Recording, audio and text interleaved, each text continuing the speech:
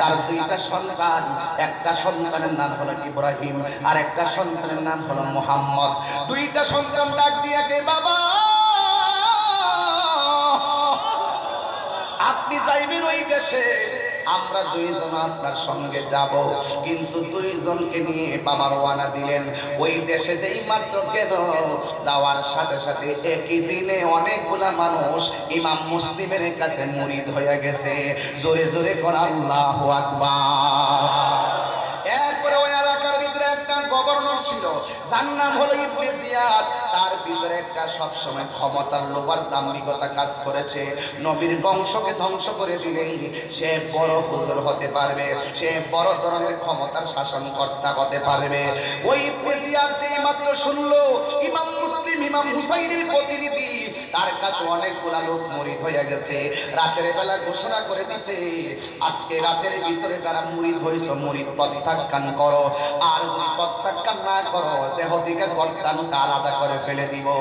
ইমাম ইবনে জিয়াদ যখন এই কথাটা বলল, রাতের বেলা এই খবরটা সবার কানে কানে গেল। যাওয়ার পরে ইমাম মুসলিম তো খুশি ছিল, কিন্তু তিনি পরের দিন যেই মাত্র মসজিদে নামাজ পড়াইতে গেলেন দেখতেছেন প্রথম দিন যেইভাবে মুসল্লি ছিল, পরের দিন আর মুসল্লির সংখ্যা তেমন নাই, মুসল্লি কমে গেছে। জোহরের নামাজের টাইমে আরও কমে গেছে, আসরের টাইমে আরও কমে গেছে। কি ব্যাপার? ইবনে জিয়াদ সাকসেসফুল হয়ে গেছে। সবাই যখন মুরিদি প্রত্যাখ্যান করেছে, তখন ইমাম মুসলিম কি করেছেন? সবার মুরিদ হওয়ার ইমাম মুসলিম একটা চিঠি লিখছিলেন, হুসাইন, আমার কাছে মানুষ পাগল হইয়া মুরিদ হইয়া গেছে। আপনি দেরি করেন না, আপনাকে পাইলে তারা সব আপনার অনুকূলে চলে আসবে। ইমাম হুসাইন রোয়ানা দিয়া দিল, কিন্তু এই চিঠি তো চলে গেছে। কিন্তু এই দিক দিয়া ইবনে জিয়াদে আরেকটা ঘোষণা করেছে, রাতের অন্ধকারের ভিতরে ইবনে জিয়াদ ঘোষণা করে দিল, ইমাম মুসলিমকে যে বাবদ ধরে আনতে হবে। এবার রাতের বেলা তাকে খোঁজাখুঁজি করতেছেন। ইমাম মুসলিম যেই ঘরের মধ্যে শোয়া ছিল, মুসল্লিদের অবস্থা দেখে তিনি সিদ্ধান্ত নিলেন বইটা ফালাইছি ওই যে কইছিল, এদের হাতের লেখা অনেক সুন্দর, কিন্তু তলোয়ারের ব্যবহার ভালো না।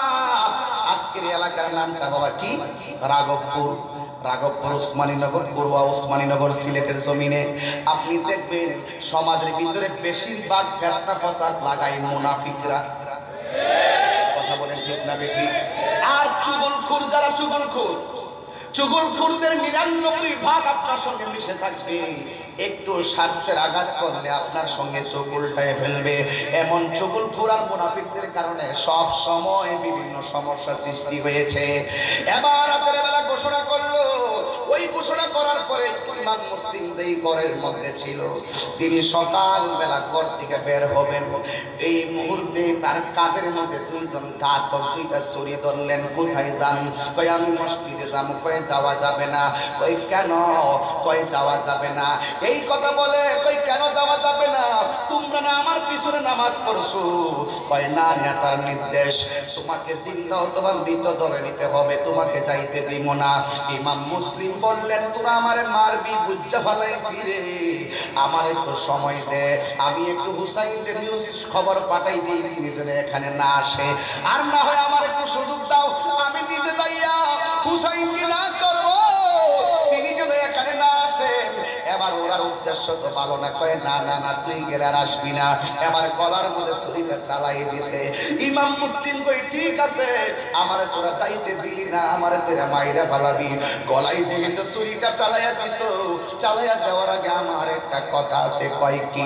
আমারে দুই রাকাত নামাজ পড়ার সুযোগ দাও। আরও জোরে কোন সুবহানাল্লাহ। কয় রাকাত নামাজ পড়ার সুযোগ দাও? দুই রাকাত পড়ল আরে বাবা, নবীর বংশধর বোঝাইয়া গেছে মৃত্যুর সন্ধিক্ষণে যাওয়ার পরেও তোমরা আল্লাহর আবাদত চাইরো না, কারণ নামাজ হলো মুমিনের জন্য মেরাজ। কথা কোন ঠিক কিনা? এবার ইমাম মুসলিমকে তারা মেরে ফেলল। আর ওই দিকটা তারা খবর পাইছে, ইমাম মুসলিমের দুইটা সন্তান আছে। একটার নাম হলো মোহাম্মদ আর একটার নাম হলো ইব্রাহিম। সকালবেলা বাবা নামাজ পড়াইয়া রুদ্র উঠলে তাদের খবর নিত, কিন্তু ওই দিন বাবা সূর্য ওঠার পরও আর খবর নাই। মোহাম্মদ ইব্রাহিম গোর বাড়িওয়ালার ডাক দিয়ে কয়, এ বাড়িওয়ালা, আমার আব্বা দি প্রতিদিন সূর্য উঠলে আমাদের খবর নিত? আমার আব্বা কই? ওই মুহূর্তে বাড়িওয়ালা কই, তোমার আব্বারে তোরা মাইরা ফলাইছে। ওই খাইছে রে, তাইলে তো আমরাও মাইরা ফলাবে। আমার বাবারে মারছে, দুঃখ করি না। আমার বাবা তো চিঠি পাঠাইছে হুসাইনরা আসার জন্য। তিনি মনে হয় কাফেলা নিয়ে আসতেছে। তাড়াতাড়ি বাড়িওয়ালা, আমরা একটু মদিনা যা রাস্তাটা দেন। দেখি না গো। বাবার লাশ দেখার জন্য দরখাস্ত করে না। ওই ইমাম হুসাইনকে বলার জন্য মদিনায় যাবে। বাড়িওয়ালা বলে, ঠিক আছে, তোমরা তো এখন দিনের বেলা, তোমরা না, আজকে রাত্রটা থাকো। আগামীকাল সকালবেলা মদিনার কাফেলা যাবে, দিয়ে দিব তোমাদেরকে। ওই দিকে ঘোষণা করেছে, তোমাদের মধ্যে কে আছো? ইমাম মুসলিমের দুইটা সন্তান নাকি আছে? এই সন্তানগুলোরে তৈরি আনতে পারবে কারা? যারা ইমাম মুসলিমের দুইটা সন্তানের সন্তান দিয়ে ধরে আনতে পারবে। আমি তাদেরকে অনেকগুলা স্বর্ণ মুদ্রা উপহার দিব। ওই জায়গার মধ্যে একজন দাঁড়ায় গেছে, আমি পারব। তার নাম হলো হারেস। যার নাম কি? হারেস। হিন্দুর নাম না, মুসলমানের নাম?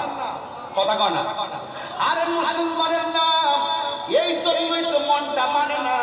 অন্য ধর্মের মানুষরা যদি কিছু ঘটনা ঘটাইতে মনে করতাম, তাদের সাথে ধর্ম, ধর্মীয় সাংঘর্ষিক থাকে ওই সময়। থাকতে পারে। কিন্তু দাড়িওয়ালা, টুপিওয়ালা ফাঁকরিওয়ালা নামাজিওয়ালা, ওরাই আমার হুসাইনের ইমাম মুসলিমের গলায় ছুরি চালাইলো। ওই দিক দিয়া হারেস ডাক দিয়া বলেন, আমি পারব এই কথা বলার পরে হারেসে রাত্রে বেলা খুঁজতেছে পাই না। এই দিক দিয়া সকালবেলা তাদেরকে কাফেলা ধরাইয়া দিল। কিন্তু কাফেলা যাবে ছোট বাচ্চাগুলো, উটের উপরে ওঠার জায়গা পায় নাই, পিছন পিছন হাঁটতে হাঁটতে যাইতেছে। কিন্তু বালুর আর পাথরের কারণে ছোট্ট বাচ্চাগুলোর পায়ের তলাগুলা ঠসা পড়ে গেছে। কাফেলার সঙ্গে আর যাইতে পারে নাই।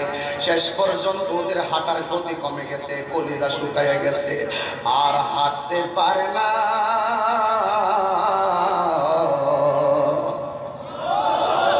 কাফেলা মদিনায় চলে গেছে। ছোট ভাইটা বলে, বড় ভাই, আর যাইতে পারতাম না, কলিজাটা শুকায় গেছে, একটু পানি দেন। বড় ভাইটা কই ঠিক আছে, ওই যে একটা কূপ দেখা যায়। কূপের পারে একটা মহিলা দেখা যায়। চলো সেই জায়গার মধ্যে পানি আনতে যাই। ওই দিক দিয়ে হারছে, তন্ন তন্ন করে তালাশ করতেছে, তারা কোথায় আছে? এবার তাদেরকে খুঁজে পাই না। এই দিক দিয়ে বড় কূপের কাছে যখন গেল মহিলাটা কূপের বরাবর বালতিটা সারলেন। কিন্তু মহিলাটা বলেন, আমি যখন কূপের ভিতরে বালতিটা সারলাম, আমি দেখতেছি কূপের পানির তলায় দুইটা চাঁদের মতন চেহারা ঝলমল ঝলমল করে। আর জোরে জোরে বলুন সোবাহান আল্লাহ ব্যাপার কূপের পানির মধ্যে দুইটা চেহারা দেখা যায়। গাটটা উপরে তুললেন তুইলা দেখতেছেন, চাঁদের মতন দুইটা বাতির মতন দাঁড়াইয়া রইছে মহিলা ডাক দিয়ে তোমরা কে? বড় ভাইটা ছোট ভাইয়ের চেহারা দিকে তাকায়, আর ছোট ভাইটা বড় ভাইয়ের চেহারা দিকে তাকায়। আমাদেরকে মারার জন্য তো সবাই তালাশ করতেছে। এখন যদি নাম বলি, আমাদেরকে বুঝা ফেলাইব। বড় ভাইটা ডাক দিয়া কয়, আমার পরিচয় চেয়েছেন, আমাদের কোনো পরিচয় নয়। আমরা হইলাম দুইজন মদিনার গোলা কোথায় যাবে? কই মদিনায় যাব। কই কীভাবে যাবে? কই কাফেলার সঙ্গে আসছিলাম। যাইতে পারি নাই। এখন কি করব রাস্তা তো চিনি না। মহিলাটা ডাক দিয়ে কই, এখন কি করব? কই, পানি পান করব। পানি খাওয়াইলে মহিলাটা ডাক দিয়ে বলেন, তোমরা এখন কোনো কাফেলা পাবে না। আগামীকাল সকালবেলা আমি ধরাইয়া দিব। তবে আমি যেই বাড়িতে কাজ করি, ওই বাড়িতে তোমরা রাত্রে থাকবা। ওই মহিলাটা দুইটা সন্তানকে ওই বাড়িতে নিয়ে গেলেন। ওই মহিলাটার কাছে নিয়ে গেলেন। কিন্তু যেখানে আবু জাহেল আছে, সেখানে আমার নবী মোহাম্মদ সাল্লামের ভালোবাসার স্লোগান ছিল যেখানে নমরুদ্দা ছিল, সেখানে ইব্রাহিম ছিল, যেখানে ফেরাউন্না ছিল, সেখানে তো মুসা নবী। যেখানে ইবনে জিয়াদের বাহিনী, সেখানে একটা মহিলা আহলে বায়াতের পাগল। বাড়ির মধ্যে গেল যাওয়ার পরে ডাক দিয়ে তোমরা কেন মহিলাটা বলেন ঠিক আছে তোমরা এখন কোনো কাফেলা পাবে না। মহিলাটা এদেরকে গোসল করাইলেন। বন্ধুরে গোসল করাইতে যাইয়া পায়ের তলার মধ্যে যে ঠসাগুলা পড়ে গেছে বালুগুলা ভিতরে ঢুকে আছে ওই বালুগুলো সুন্দর করে আসরের মাথা দিয়া বের করলেন আর পা গুলা মুছে দিলেন। মাথায় তেল দিলেন খাওয়াইলেন খাওয়াইয়া বললেন এই যে শাড়ি কাপড় শাড়ি কাপড় দিয়ে একটা রুম বানাইছে। তোমরা শাড়ি কাপড় এই পাশে ঘুমায়া থাকবা। তোমরা একটা কথাও বলবা না, এখানে ঘুমায়া থাকবা। ঠিক আছে, এবার তারা ওখানে ঘুমায়া রইল। আর ওই দিকটা যে চ্যালেঞ্জটা গ্রহণ করছিল, স্বর্ণ মুদ্রার পাবে ওই লোকটা হলো ওই মহিলাটার স্বামী, তার নাম হলো হারেস। ওই লোকটা সারাদিন তাদেরকে না পাইয়া বাড়ির মধ্যে আসছে তাড়াতাড়ি গোসলের পানি দে, গোসলের পানি দিন তাড়াতাড়ি খাবার দে। এবার তাড়াতাড়ি খাবার দিলেন তাড়াতাড়ি শুইয়া যাও, শুইয়া গেলেন। শুইয়া শুইয়া স্বামী স্ত্রীকে ডাক দিয়ে আমার সকাল সকাল ডাক দিবে। স্ত্রী ডাক দিয়ে কয়, স্বামী গো, কোনদিন তো এমন ভাবে তাড়াহুড়া করেন নাই। আজকে কেন এমন ভাবে তাড়াহুড়া করতেছেন, তার কারণটা কি? এবার স্ত্রীকে স্বামী ডাক দিয়ে তুমি শোনো না। জীবনে ইংরেজিয়াদের শাসন গভর্নরের চাকরি করলাম অনেক বছর। এমন বড় ধরনের কোনো অফার আমি পাই নাই। বড় ধরনের কোনো অফার পাই নাই। এত বড় কোনো অফার পাই নাই। আজকে এমন একটা অফার পাইছি এই দেশে নাকি ইমাম মুসলিমের দুইটা সন্তান আছে। এই সন্তানগুলোর দইটা নিতে পারলে আমি অনেক স্বর্ণ মুদ্রা পাবো এই কথা যে মাত্র বলল স্ত্রী ডাক দিয়া বলে, স্বামী গো, না না, আপনি ঘুমায় থাকেন, সকালে ডাক দিয়া দিব। কিন্তু একটা কথা মনে রাখবেন, যারা লোভে পড়ে, তাদের ঘুম হয় না। যারা লুবি তারা লুবি যারা, তাদের জীবন ধ্বংস। লোভে পাপ, পাপে মৃত্যু, লোভ করা ভালো না, হিংসা করা ভালো না, অহংকার করা ভালো না। এবার স্বামী স্ত্রীকে নিয়ে শুয়ে রইলেন। কিন্তু হঠাৎ ওই যে দুইটা ভাই শুয়ে আছে, কি জানে ছোট ভাই একটা স্বপ্ন দেখছে, একটা চিৎকার মারছে। যেই মাত্র চিৎকার বড় ভাইটা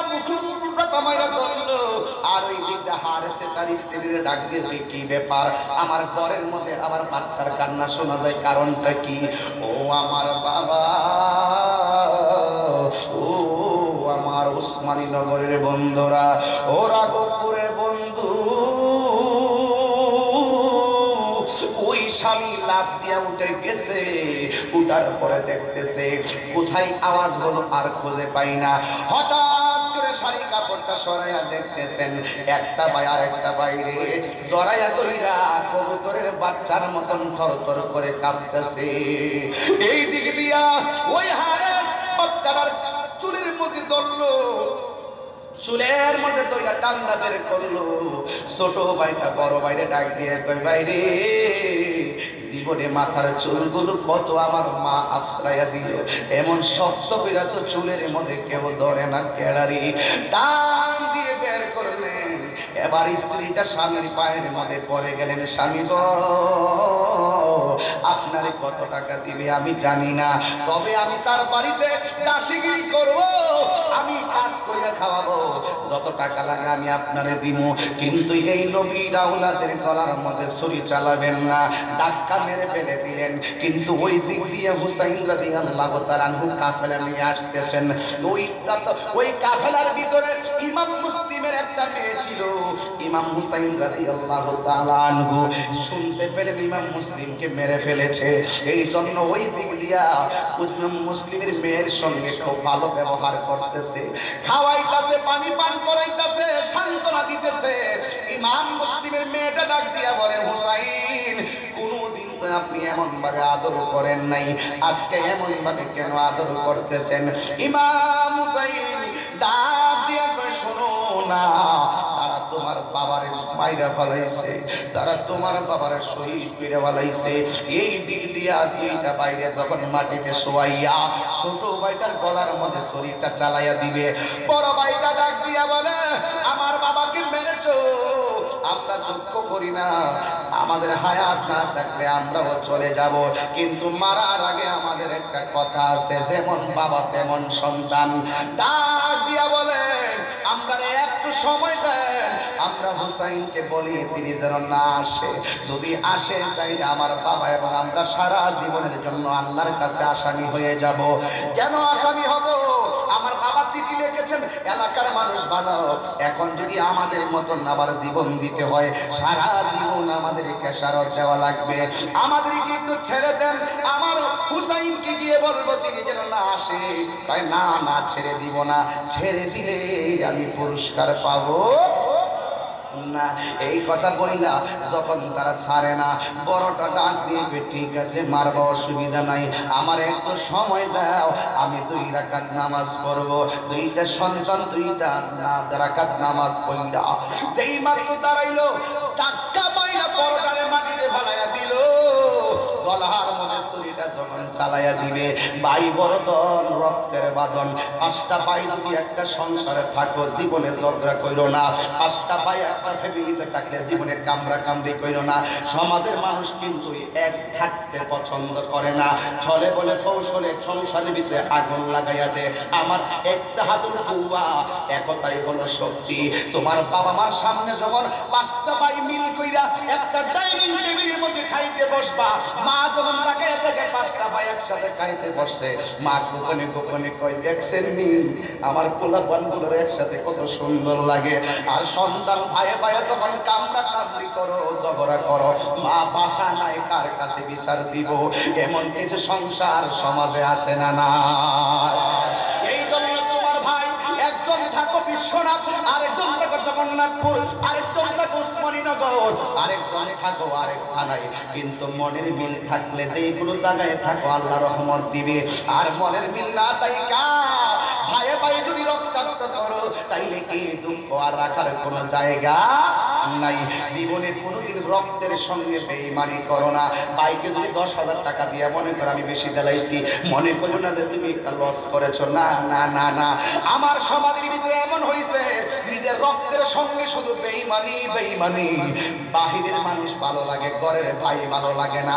বাহিরের মানুষ ভালো লাগে, নিজের বাবা ভালো লাগে না, নিজের মা ভালো লাগে না।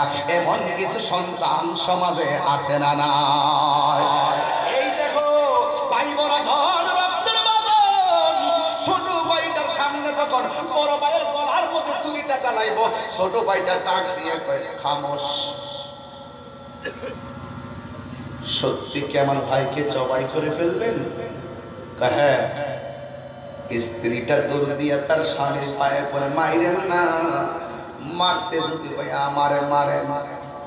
কিন্তু ছোট ভাইটা একটা প্রেমের খেলা দেখাইয়া দিছে।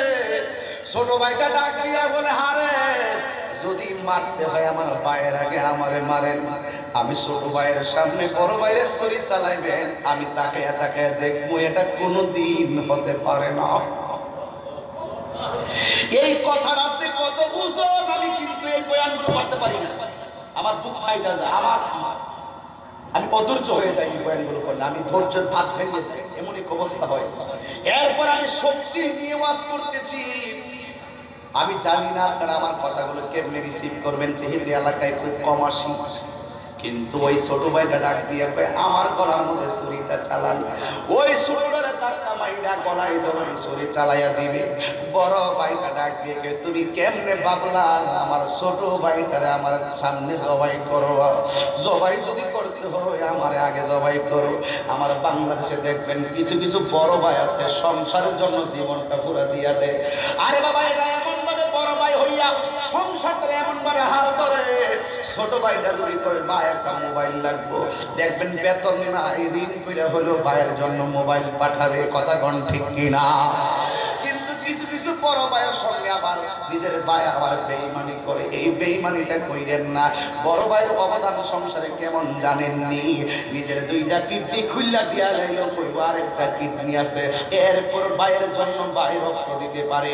এই জন্য বড় ভাইটার সম্মান সিনিয়রকে সম্মান করে আমি ওয়াজ করছিলাম, মুরব্বীদেরকে সম্মান কইল মুরব্বীদেরকে সম্মান করলে আমার আল্লাহ মহব্বত করবেন। এবার যখন ছোট ভাইয়ের গলার ছুরি চালাইব। সামনে আমার ছোট ভাইরে ছুরি চালাইবা। আমার বাবা চলে গেছে, ছোট ভাইটা আমার কাছে আমানত। না না, আমার গলায় ছুরি চালাও। এবার ছোট ভাইটার ছুরিটা ফালাই, আবার বড় বাইরে নিয়ে ছুরিটা ধরলো। একটা প্রেমের খেলা চলতেছে এই জায়গার ভিতরে। দিনের জন্য, হকের জন্য তলোয়ারের নিচে হাসি মুখে জীবন দেওয়ার জন্য প্রতিযোগিতা চলছে। এবার ছোট ভাইটা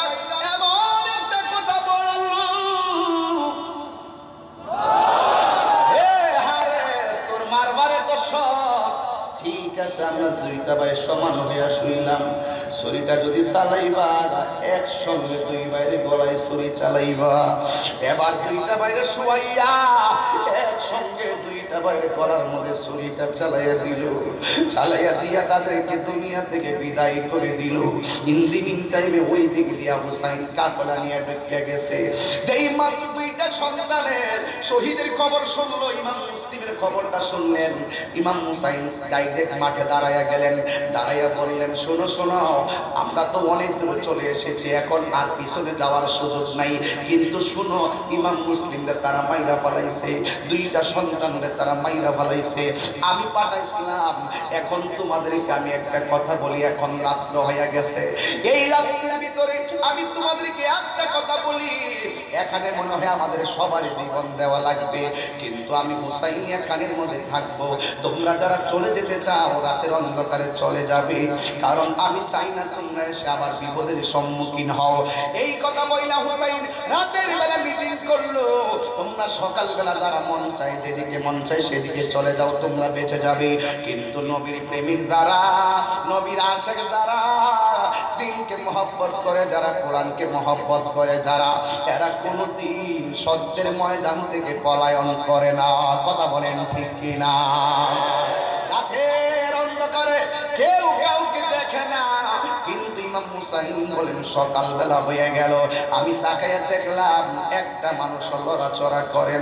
এবার হুসাইন কয়ে, তোমরা কেন গেলা না? কয়ে দিনের জন্য, হকের জন্য আমরা জীবন দিব, কিন্তু ইমাম দিব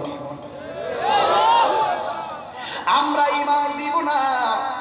এবার হুসাইন রাদিয়াল্লাহু তাআলা তাকায়া দেখতেছেন, বিয়াদবের দলেরা ইমাম হুসাইনকে বের ফলাইছে ফুরাতের পানিটারে বন্ধ করে দিছে। ইমাম হুসাইন বলেন, না না না না না রে, এবার শহর মানুষ ডাক দিয়া কই স্বামী গো, ওরা বাবারে মারলো সন্তান মারলো, এখন কি ওরা কি আবার আমাদেরকে মারবে নাকি? কয়ে, দাঁড়াও, কোনো কথা বইল না, ওরা আমাদের দিকে আসতেছে, তুমি হইলা মহিলা, তাড়াতাড়ি তলোয়ারটা দাও, খেজুরের ডালের মধ্যে দিছে। চারটা ডালা কোন রকম ভাবে কাইটা, চারটা ডালার ভিতরে বালুর মধ্যে গাইরা ওই একটা তাবু টানাইছে। তাবু টানাইয়া শহর মানুষ ডাক দিয়া শহর মানুষ ওরা আসতেছে আমাদের দিকে, তবে তারা তোমার জন্য পরপুরুষ পরপুরুষের সামনে পর্দা করা লাগবে। তুমি তাড়াতাড়ি তাবুর ভিতরে চলে যাও। নামাজ যেমন ফরজ, পর্দাও তেমন ফরজ। মৃত্যুর ময়দানে, জিহাদের ময়দানে আল্লাহর ফরজ ত্যাগ করে না। শহর ভিতরে চলে গেছে। ইমাম হুসাইন কয়, শহর দেখো দেখো, খেজুরের ডালের মধ্যে কূপ দিলাম, রক্ত ঝরতেছে। গুড়ার পা গুলো মাটিতে নেমে গেছে। আমার নবী তো আমার নানা জানা মারে কয়ে গেছিল। যে জায়গায় গেলে গোড়ার পা গুলো মাটির নিচে নেমে যাবে। খেজুর গাছের ডালের মধ্যে কূপ খেজুরের ডাল থেকে রক্ত ঝরবে। ওই জায়গাটাই নানা ভাই, তোমার শহীদ শাহাদতের সেন্টার আমার বোঝার বাকি নাই। এখানেই আমাদের শাহাদতের সেন্টার জোরে কি সোহান আল্লাহ বলবেন না? এই জন্য যুবক বাইরে এটার নাম হলো আল্লাহ ছাড়া কেউ জানে না। তবে আল্লাহ যারা পছন্দ করে, তার এলমে গায়েবের জ্ঞান দান করে। সমস্ত ধনভাণ্ডারের মালিক হলো আমার আল্লাহ। আমার নবীরে দান করেছেন বলে আমার নবী পেয়েছেন। নবী পেয়েছেন বলে নবী বলেছেন, আল্লাহ আমার দেখ, আমি নবী বন্টন করি। জুড়ে কি সুবহান আল্লাহ বলবেন না?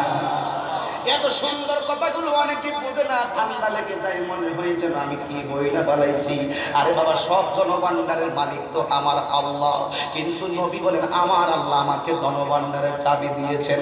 আর আমি নবী, ইন্নামা আনা পাসেন আল্লাহ ইউতি। আল্লাহ আমার দেয় আমি নবী বন্টন করি। এটা এলেম হোক আর ধনভান্ডার হোক, যাই হোক। আল্লাহ যতটুকু নবীরে দিছে, নবী পাইছে কতটুকু দিছে, আল্লাহ জানে, আমরা জানি না। এই কথাটাই আমি সানে সানে বলেছিলাম। এখন দেখেন আমার নবী হয়ে গেছেন, আমার নবী বলে গেছেন, আমার নবী বলে গেছেন, আমার নবী বলে গেছেন। আমার নবী বলে গেছেন। আপনাদের মনে একটু কষ্ট হইতেছে না? মানে অসুবিধা লাগতেছে আপনাদের কাছে?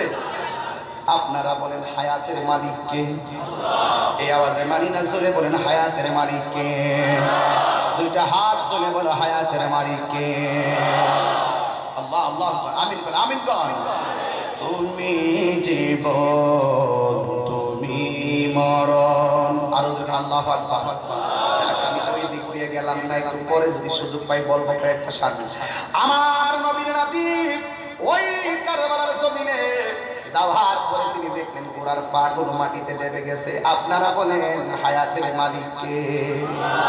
এ বন্ধুরি এবার ইবনে জিয়াদের মানুষগুলো হুসাইনের কাছে আসলেন। আয়েশা বলতেছেন, আমরা তোমার আনছি এখানে। এখনও সময় আছে, আমাদের কাছে আত্মসমর্পণ করো। কিন্তু হুসাইন তো এমন বাবার সন্তান, যেই বাবার জন্ম হয়েছে কাবা ঘরের ভিতরে। সুবহানাল্লাহ বলবেন না?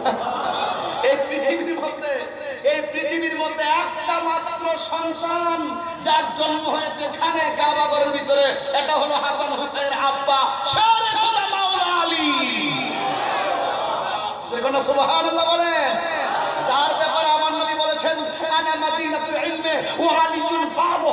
আমি নবী হলাম শহর, আমার আলী হলো সেই শহরের দরজা।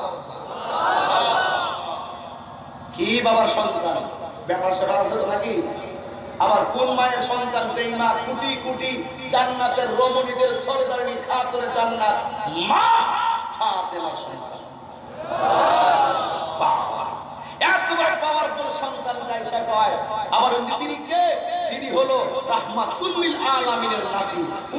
বলে, এখনও সময় আছে, আমার আত্মসমর্পণ করো। জবাব দিয়েছে, জান দিব কিন্তু ঈমান দিব না। আপনারা কি জান দিবেন, ঈমান দিয়ে দিবেন নাকি? ইমানের দাম বেশি না সম্পদের দাম বেশি? আর একটু জোরে বলেন, কিসের দাম বেশি? ইমানের দাম বেশি, ঠিক কিনা বলছে, আমি জীবন দিব কিন্তু ইমান দিব না। ওই দিক দিয়ে সাথে সাথে ঘোষণা করে দেয়। আমি বুঝলাম না, কার জন্য পানি বন্ধ করলা? হ্যাঁ কার জন্য তুমি পানি বন্ধ করলা? যেই নবী সৃষ্টি না হলে পানি সৃষ্টি হতো না। সেই নবীর নাতির জন্য পানি বন্ধ করেছ। রোজ হাসর মে কিয়া জবাব হয় মুস্তাফা কি সামনে নবীর সামনে কীভাবে মুখ দেখাবে? ঠিক কি না গো? এবার হুসাইন রাদিয়াল্লাহু তাআলা একের পর এক যেই মাত্র দাঁড়িয়ে গেলেন, হঠাৎ করে তার সন্তান ছিল যার নাম হলো আলী আকবর। আর ইমাম হুসাইনের তিনটা সন্তান, এই ইতিহাসগুলো বলার দরকার আছে। কারণ এই ছোট্ট গোলাপানগুলো ইতিহাসগুলো জানে না। আপনারা বড় যারা আছেন, আপনারা জানেন। এমনি ইতিহাসকে বিকৃত করার জন্য কত ষড়যন্ত্র চলছে কথা বলেন, ঠিক না বেঠে? এই জন্য ইমাম হুসাইনের একটা সন্তান, তার নাম হলো হজরতে আলী আকবর।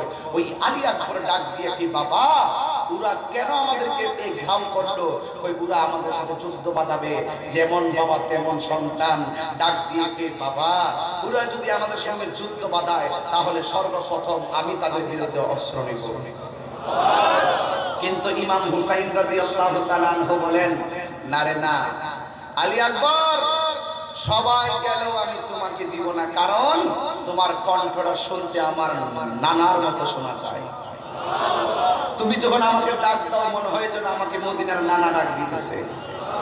এবার আলিয়া ডাক দিয়া বলেন, বাবা, আমি যদি না যাই, আপনার নানা কি খুশি হবে? যেই মাঝে এই কথা বলছে, তখন আর লা জবাব হয়ে গেছে, কারণ না হকে অন্যায়ের সাথে অন্যায় যারা করবে তাদের বিরুদ্ধে রুখে দাঁড়ানো, এটা তো আমার নবীর সুন্নত আল আল জিহাদুল মাহসিন ইলা ইয়াউমিল কিয়ামা। শেষ পর্যন্ত ইমাম হুসাইন বলেন, ঠিক আছে আলী আকবর, তোমার হাতের মধ্যে তলোয়ার নাও। কিন্তু শর্ত আছে একটা, তুমি বারবার চাইবা আমাকে বাবা বলে ডাক দিবা। কারণ তোমার ডাকটা শুনলে আমার নানার ডাকের স্বাদ মিঠাই। অবন্দরে গভীরে মনোযোগ, মহাব্বত নিয়ে বসে যান। একটা জবার হৃদয় বিদারে করবেন একদম একদম নীরবে নীরবে বসে বসে যদি পারেন দুইটা চোখের পানি ছেড়ে দিয়ে বলবেন, এ বন্ধুরি, আলী আকবর ডাক দিয়ে বাবা গো, আমি যুদ্ধের ময়দানে যাচ্ছি আলবিদা আলবিদা এইভাবে বলতে বলতে বলতে বলতে রওনা দিছে। হঠাৎ করে আলী আকবর ডাক দিয়া বলেন বাবা, আর তাকায়া থাইকো না গো। আমি কথা দিলাম, আমি আবার তোমার কাছে এসে তোমার বাবা বলে ডাক দিব। এ ভাই, ওই আলী আকবর, যুদ্ধের ময়দানে যাওয়ার পরে ওরা তেলে বেগুনে জ্বলে উঠেছেন কারণ হুসাইনের সন্তান। এবার ওই হুসাইন নবী আল্লাহ মারার জন্য তার সন্তানকে মারার জন্য তারা উঠে পড়ে লেগেছে। কিন্তু ইমাম আলী আকবরের গায়ের ভিতরে হলো বেলায়তের শক্তি। উনি এমন ভাবে যুদ্ধ শুরু করলেন। যুদ্ধ করতে করতে করতে করতে হঠাৎ করে বাবার কথা মনে হইয়া গেছে। এবার দৌড়াইয়া বাবার কাছে যখন আসলেন আইসা ডাক দিয়া বলে, বাবা!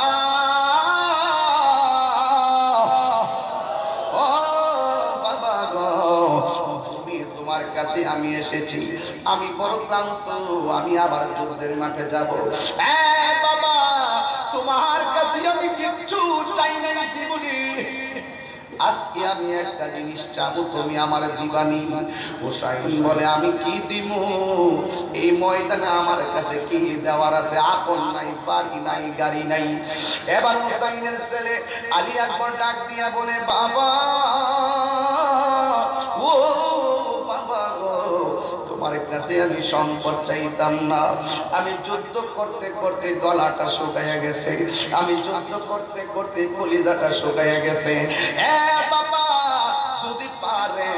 আমার গলার মধ্যে এক ফোঁটা পানি দেন। এবার হুসাইন ডাক দিয়ে আমি কেমন বাবা হইলাম? আমার সন্তান আমার কাছে পানি চাই, আমি দিতে পারি না। মস্কের মধ্যে পানি নাই।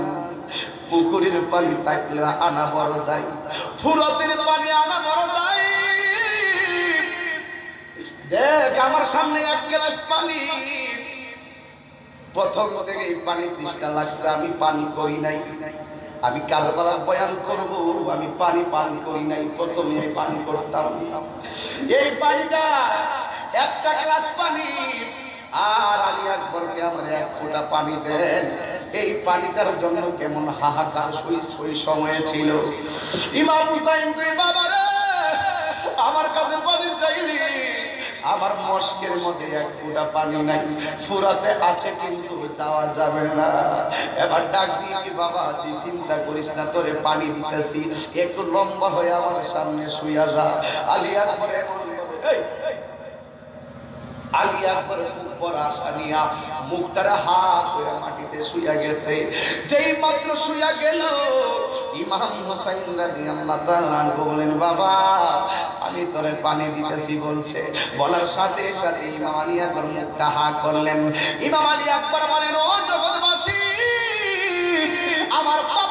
কাছে আমি পানি চাইছি। আমার বাবা আমার মস্কের পানি দেই নাই। আমার বাবা আমার ফুরাতের পানি দেই নাই। আমি তাকে আমার আব্বা যান। আমার আব্বার শুকনা জিব্বাটা আমার মুখের ভিতরে ঢুকাইয়া দিছে।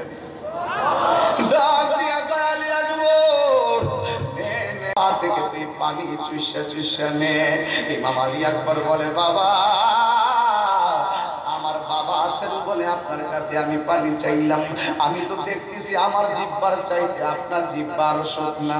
আপনার বাবা নাই দেখে বলে আপনি পানি চাইতে পারেন না। বাবা গো, আর পানি লাগবে না। আমার জন্য আল্লাহ ওই পানি অপেক্ষা করতেছি। এবার ইমাম আলী আকবর সোজা যুদ্ধের ময়দানে চলে গেল। নাই নাই আলী আকবর নাই, কিন্তু একের পর আবার কাশেম নাই। একের পর একবার আলী আসগর নাই। সব শহীদ হয়ে গেল। ইমাম হুসাইন একলা হয়ে গেল। ঘটনা তো বড় লম্বা, সব বলা যাবে না। এই বয়ানগুলো আমি করতে পারি না। আরে বাবা রে এই উসমানী নগরের মানুষ জাননি। এই মুহূর্তে যদি কারবালা হইতো, আমার ভাই আছেন, আমার বাবা আছেন, আমার ওসি মহোদয় আছেন, আমার দিদির যুবলীগের নেতারা আছেন, আওয়ামী লীগের নেতারা আছেন, এই এলাকার চেয়ারম্যান আছেন সেন্টার আছেন, আমি তাহির আছি, আমার সঙ্গে আর ওলামায়ে কেরাম লইতাম। লইয়া এই মুহূর্তে যদি কারবালা হইতো বাংলার জমিন থেকে শুনতাম, নবীরা জন্য পানি বন্ধ করে দিছে। আল্লাহর কসম, এই বাংলার জমিন থেকে করে বেঁচে নিয়া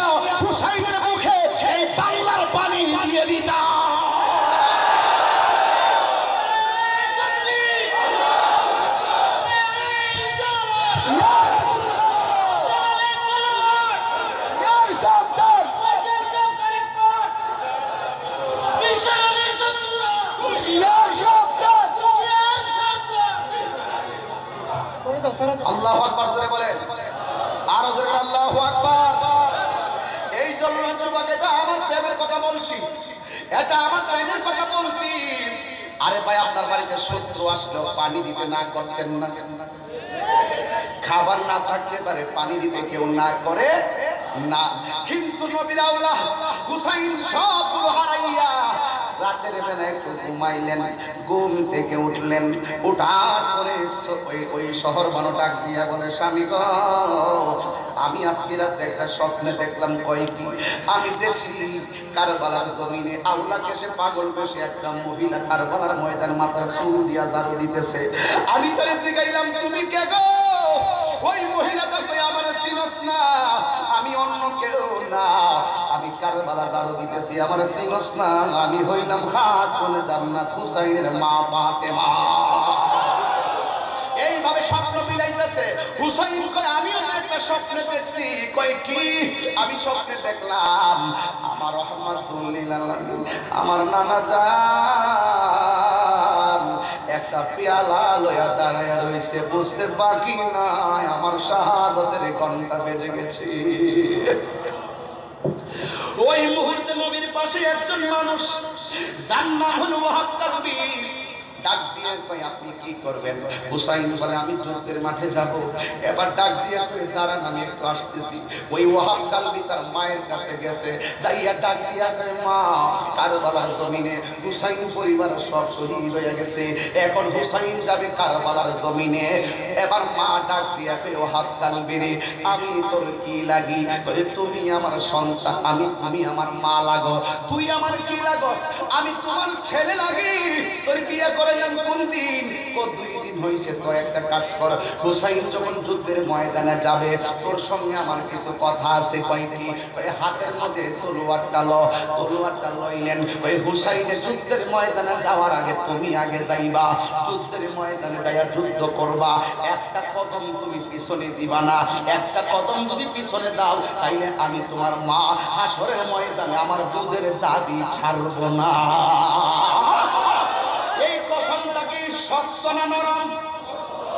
অনেক শক্ত এবং কঠিন কসম মায়ের দুধের কসমটা তো সাধারণ কথা না রে বাবা।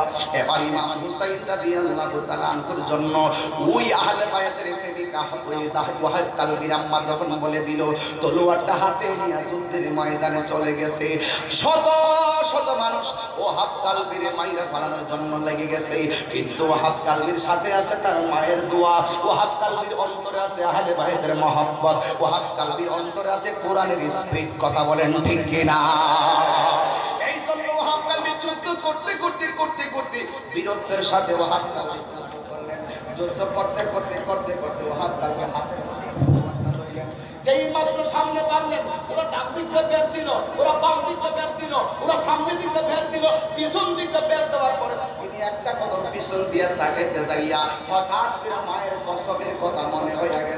জোরে জোরে কি আল্লাহ আকবার বলবেন না। একদার দুদির দাগ কাটিয়া গায়ের চাপ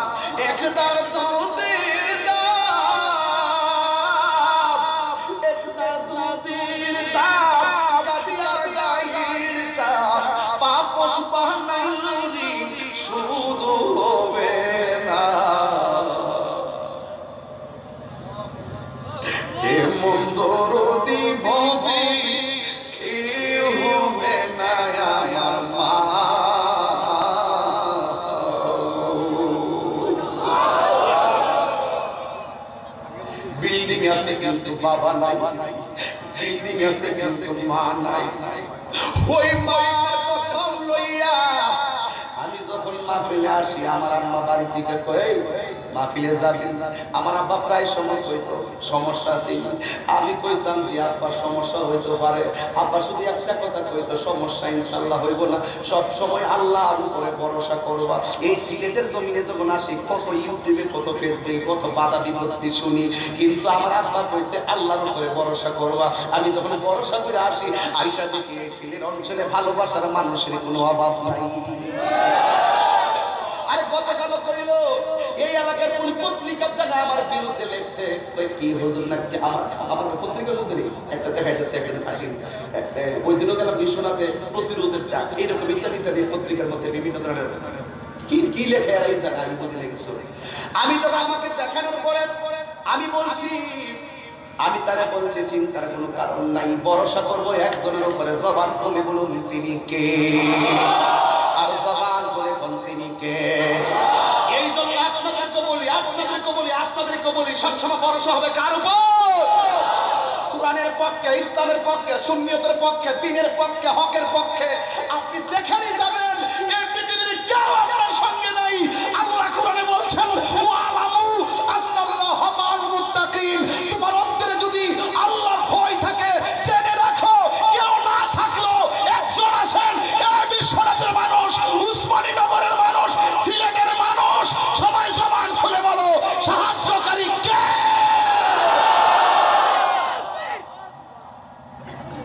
মায়ের দোয়া।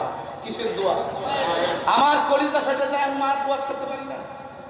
আমার বাবার কথা আমি বলতে পারি না, আল্লাহর কসম করে বলি। আমি নিজে কবরের মধ্যে বাবার নামাইছি, দাড়িগুলো হাতায় দিয়ে আসছিলাম, বুকের মধ্যে হাত দিয়ে আসছিলাম। এখনও যেন আমার হাতের মধ্যে বাবার বুকটা যেন লাগে, এখনও যেন হাতের গোড়ার মধ্যে বাবার দাড়িগুলো লাগে, এইভাবে হাতায় দিয়ে আমি দিয়ে আসছিলাম। আজকে কত মানুষ দেখি, কিন্তু আমার বাবার মতো লাগে না। ও হাত কালবি বলেন, একটা কদম আমি পিছনে দিতে গেলাম, আমি হঠাৎ কইরা আমার মায়ের কসমের কথা মনে হয়ে গেছে।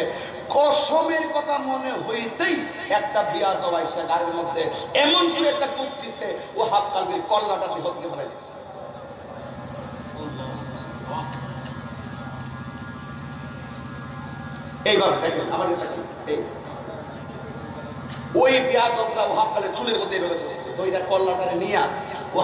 মায়ের কাছে গেছে। বলছে মা, তোর একমাত্র সন্তান নতুন বিয়ে করছে। এই সন্তানটারে দুধের কসম দিয়া শেষ করলি। তুই একটা অলক্ষণী মা। তুই একটা নির্দয়া মা নাফরমান মা। ওহাব কালবির আম্মার কাছে কল্লাটা দিছে। কল্লাটা দেখে ওহাব কালবির মা মুচকি মুচকি হাসতেছে। কি বাবা, ওই দিন যে রশিদপুর না কোন জায়গায় অ্যাক্সিডেন্ট হয়েছে? এগারো জন না কয়জন মারা গেল। আরও অনেকে আশঙ্কাজনক ছিল মুখোমুখি বাস। না না। বলেন তো অ্যাক্সিডেন্টের রক্ত মাখা লাশটা যখন মা দেখছে, তার কাছে কেমন লাগছে? এটার ব্যাখ্যা করা যাইব? এই মুহূর্তে যদি তাহিরি কল্লাটা কেটে, তাহিরি কল্লাটাকে নিয়ে মার কাছে দেওয়া হয়, মা কি মন মানব? মা তো পুরো পাগলের মতন হয়ে যাইবে ঠিক কিনা কন? কিন্তু ওয়াহাব কালবির মা কাটা কল্লা, তরতাজা পোড়াটারে বানাইলো। তরতাজা ছেলেটাকে কল্লাটা হাতের মধ্যে নিয়ে মুসকি মুসকি হাসতেছে। ওরা বলতেছে, তুমি কেমন ধরনের মা? সন্তানের কাটা কল্লা দেখে তুমি হাসতেছ। ওহাব কালবির মা কই আমি কি হাসতাম না তো কানতাম নেই ও, তুমি হাসো কেন? একটু আগে ছিলাম আমি ওহাব কালবির মা, এখন আমি শহীদের মা। প্রেমের দাম আসেনি? প্রেমের দাম আসেনি? আমি এখন শহীদের মা। এই কথা বলার পরে ওরা বলতেছে, নে, তোর সন্তানের কল্লাটাকে কবর দিয়ে স্মৃতি হিসেবে রেখা দে। ওহাব কাবির মা কল্লাটাকে হাতে নিলেন, এই হাত থেকে এই হাতে আনলেন, আইনা কল্লাটাকে এইভাবে ঢিল মেরে ফেলে দিলেন। ফেলে দেওয়ার পরে ওরা বলতেছে, তুমি কেমন মা? একমাত্র সন্তানের স্মৃতি হিসাবে কল্লাটা না রেখে ঢিল মেরে করতে ফেলে দিলে কারণটা কি? মা ডাক দিয়ে কয়, আমার সন্তানকে আল্লাহ রাস্তায় দান করে দিছি, দান করা জিনিস ফেরত নেওয়া যায় নাই। আরও জোরে কন্যা, সুবহানাল্লাহ বলেন। আমি একবারে বলছি কারবালার বয়ান আমি যদি এগারো ঘন্টাও করি, এটার কোনো কুল কিনার আমি পাই না। বাহাত্তর জন শহীদের, বাহাত্তরটা ঘটনা আছে ভাই। আমি শুধু একটা করে একটা আলী আকবর আর একটা ওহাব কালবি মাঝখান দিয়ে কাশেম আলী আসগর যা আছে হুর থেকে শুরু করে সব ছেড়ে দিছি, কেন? আমার পক্ষে সম্ভব না। হুসাইন রাদি আল্লাহ শহীদ হোক শাহাদতের তামান্না। তিনি হাতের মধ্যে তলোয়ারটা নিয়ে যুদ্ধের ময়দানে চলে গেছে। যেই মাত্র চলে গেছে বিয়াদবদের সঙ্গে যুদ্ধ করতে করতে করতে করতে তিনি ঘোড়ার উপর থেকে পড়ে গেলেন। বিয়াদবরা ওই হুসাইনের বুকের মধ্যে চাপ দিয়ে বসলেন। হুসাইন রাদিয়াল্লাহু তাআলা আনহু বলেন, তোরা আমার সব জায়গায় বয় কিন্তু আমার বুকের উপরে তোরা এইভাবে চাপ দিয়ে বস না। তুমি কি ব্যথা পাও? ব্যথা পাই না। কেন বসবি না জানিস? কারণ আমার এই বুকটা আমার নানার সিনা মুবারকের সঙ্গে হাজার বার লেগেছে একটা জবানও বন্ধ রাখবেন না। হুসাইন রাদি আল্লাহ তালানহর গলার মধ্যে ছুরিটা চালাইব। বন্ধুরি, হুসাইন রাদি আল্লাহ তালানহ বলেন, আমার তোরা জবাই করবি আমি? না করব না। তবে একটু সময় দাও।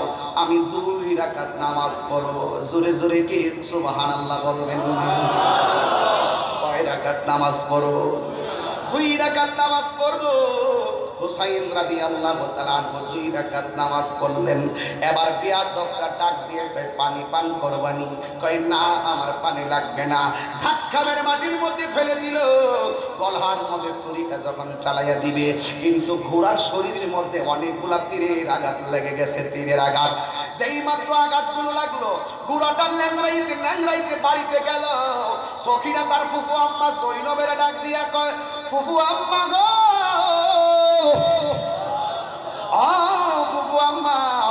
আমার আব্বা দিয়ে আসলো। আমার আব্বা কেন আসলো না? এবার জৈনবে বুঝতে বাকি নাই। মনে হয় তার ভাই হুসাইনকে শহীদ করে ফেলে দিয়েছে। মনে হয় আমার ভাইকে ওরা শহীদ করে দিয়েছে। এবার জৈনব একটা দৌড় মারলেন। কিন্তু ওই জায়গায় যাইয়া লাশগুলা খুঁজে পায় না। এখানে কল্লা কাটা, ওখানে দেহ কাটা, ওখানে হাত কাটা, চোখ কাটা। ওই জৈনব ভাইয়ের লাশ খুঁজতেছে, হঠাৎ করে তাকায় দেখতেছেন, জামাটা আছে, কিন্তু কল্লা মোবারকটা নাই। এমন ভাবে উপর হইয়া যুদ্ধের ময়দানে পড়ে আছে। ওই জৈনব ভাইয়ের লাশটাকে তৈরা কান্দে সখিনা ডাক দিয়া কই ফুফু আম্মা, তুমি দিয়ে আসছো বাবার লাশটা খোঁজার জন্য। তুমি দিও কার লাশ ধরে কানতেছো জৈনবে ডাক দিয়া বলে, সখিনা তার দুইটা সন্তান, একটা সন্তানের নাম হলো ইব্রাহিম আর একটা সন্তানের নাম হলো মোহাম্মদ। দুইটা সন্তান ডাক দিয়ে বাবা! আপনি যাইবেন ওই দেশে। আমরা দুইজন আপনার সঙ্গে যাব। কিন্তু দুইজনকে নিয়ে বাবার ওয়ানা দিলেন, ওই দেশে যেই মাত্র কেন যাওয়ার সাথে সাথে একই দিনে অনেকগুলা মানুষ ইমাম মুসলিমের কাছে মুরিদ হয়ে গেছে। জোরে জোরে করা, আল্লাহ আকবার। ছিল। যার নাম হলো ইবনে জিয়াদ। তার ভিতরে একটা সবসময় ক্ষমতার লোভার দাম্ভিকতা কাজ করেছে। নবীর বংশকে ধ্বংস করে দিলেই সে বড় হুজুর হতে পারবে। সে বড় ধরনের ক্ষমতার শাসনকর্তা হতে পারবে। ওই ইবনে জিয়াদ যেই মাত্র শুনলো, ইমাম মুসলিম, ইমাম হুসাইনের প্রতিনিধি, তার কাছে অনেকগুলা লোক মরিদ হয়ে গেছে। রাতের বেলা ঘোষণা করে দিছে, আজকে রাতের ভিতরে যারা মুরিদ হয়েছ, মুরিদ প্রত্যাখ্যান করো। আর যদি প্রত্যাখ্যান না করো। দেহ গর্দানটা আলাদা করে ফেলে দিব। ইমাম ইবনে জিয়াদ যখন এই কথাটা বলল, রাতের বেলা এই খবরটা সবার কানে কানে গেল। যাওয়ার পরে ইমাম মুসলিম তো খুশি ছিল। কিন্তু তিনি পরের দিন যেই মাত্র মসজিদে নামাজ পড়াইতে গেলেন, যাইয়া দেখতেছেন প্রথম দিন যেইভাবে মুসল্লি ছিল, পরের দিন আর মুসল্লির সংখ্যা তেমন নাই, মুসল্লি কমে গেছে। জোহরের নামাজের টাইমে আরও কমে গেছে, আসরের টাইমে আরও কমে গেছে। কি ব্যাপার? ইবনে সাকসেসফুল হয়ে গেছে। সবাই মুরিদি প্রত্যাখ্যান করেছে, তখন ইমাম মুসলিম কি করেছেন? সবার মুরিদ হওয়ার ইমাম মুসলিম একটা চিঠি লিখছিলেন, হুসাইন, আমার কাছে অনেকগুলা মানুষ পাগল হইয়া মুরিদ হইয়া গেছে। আপনি দেরি করেন না, আপনাকে পাইলে তারা সব আপনার অনুকূলে চলে আসবে। ইমাম হুসাইন রোয়ানা দিয়া দিল, কিন্তু এই চিঠি তো চলে গেছে। কিন্তু এই দিক দিয়া ইবনে জিয়াদে আরেকটা ঘোষণা করেছে। রাতের অন্ধকারের ভিতরে ইবনে জিয়াদ ঘোষণা করে দিল, ইমাম মুসলিমকে যে বাবদ ধরে আনতে হবে, এবার রাতের বেলা তাকে খোঁজাখুঁজি করতেছেন। ইমাম মুসলিম যেই ঘরের মধ্যে শোয়া ছিল, মুসল্লিদের অবস্থা দেখে তিনি সিদ্ধান্ত নিলেন, বুঝা ফালাইছি। ওই যে মুরব্বীরা কইছিল, এদের হাতের লেখা অনেক সুন্দর। কিন্তু তলোয়ারের ব্যবহার ভালো না। আজকের এলাকার নামটা বাবা কি? রাঘবপুর। রাঘবপুর ওসমানীনগর পড়ুয়া ওসমানীনগর সিলেটের জমিনে। আপনি দেখবেন সমাজের ভিতরে বেশিরভাগ ফেতনা ফসাদ লাগাই মুনাফিকরা। কথা বলেন ঠিক না বেঠি আর চুগলখোর, যারা চুগলখোর চুগলখোরদের নিরানব্বই ভাগ আপনার সঙ্গে মিশে থাকবে। একটু স্বার্থের আঘাত করলে আপনার সঙ্গে চোখ উল্টায় ফেলবে। এমন চকুল ফুরার মুনাফিকদের কারণে সব সময় বিভিন্ন সমস্যা সৃষ্টি হয়েছে। এবার রাতের বেলা ঘোষণা করল, ওই ঘোষণা করার পরে ইমাম মুসলিম যেই ঘরের মধ্যে ছিল, তিনি সকাল বেলা ঘর থেকে বের হবেন। এই মুহূর্তে তার কাদের মধ্যে দুইজন ঘাতক, দুইটা চুরি ধরলেন, কোথায় যান? কই আমি মসজিদে যাব। কয়ে যাওয়া যাবে না? কই কেন? কয়ে যাওয়া যাবে না? এই কথা বলে কই কেন যাওয়া যাবে না? তোমরা না আমার পিছনে নামাজ পড়ছো। কয়, না নেতার নির্দেশ। তোমাকে জিন্দা অথবা মৃত ধরে নিতে হবে। তোমাকে যাইতে দিব না। ইমাম মুসলিম বললেন, তোরা আমারে মারবি, বুঝা ফেলাইছি রে। আমার একটু সময় দে। আমি একটু হুসাইনকে নিউজ খবর পাঠাই দিই যেন এখানে না আসে। আর না হয় আমার একটু সুযোগ দাও। আমি নিজে যাইয়া হুসাইনকে না করব? তিনি যেন এখানে না এবার ওরার উদ্দেশ্য তো না। না না তুই গেলে আর আসবি না। এবার গলার মধ্যে ছুরিটা চালাই দিছে।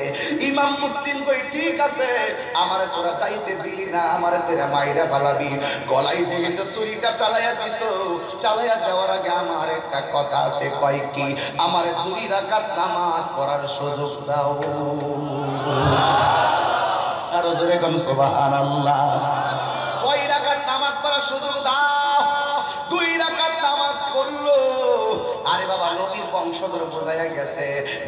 সন্ধিক্ষণে যাওয়ার পরেও তোমরা আল্লাহর ইবাদত ছাইরো না, কারণ নামাজ হলো মুমিনের জন্য মেরাজ। কথা কোন ঠিক কিনা?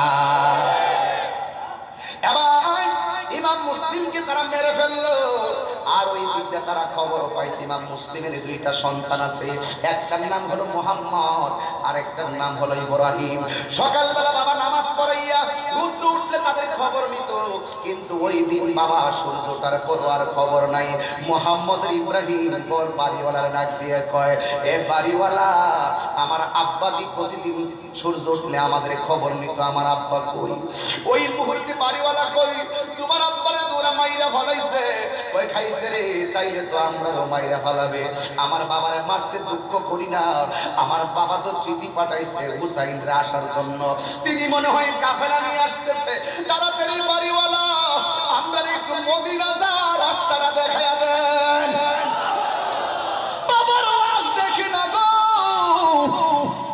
বাবার লাশ দেখার জন্য দরখাস্ত করে না। ওই ইমাম হুসাইনকে বলার জন্য মদিনায় যাবে। বাড়িওয়ালা বলে, ঠিক আছে, তোমরা তো এখন দিনের বেলা, তোমরা যাইও না, আজকে রাত্রটা থাকো। আগামীকাল সকালবেলা মদিনার কাফেলা যাবে, দিয়ে দিব তোমাদেরকে। ওই দিকে ইবনে ঘোষণা করেছে, তোমাদের মধ্যে কে আছো? ইমাম মুসলিমের দুইটা সন্তান নাকি আছে? এই সন্তানগুলোরে দইরা আনতে পারবে কারা? যারা ইমাম মুসলিমের দুইটা সন্তানের সন্তান দিয়ে ধরে আনতে পারবে। আমি তাদেরকে অনেকগুলা স্বর্ণ মুদ্রা উপহার দিব। ওই জায়গার মধ্যে একজন দাঁড়ায় গেছে, আমি পারব। তার নাম হলো হারেস। যার নাম কি?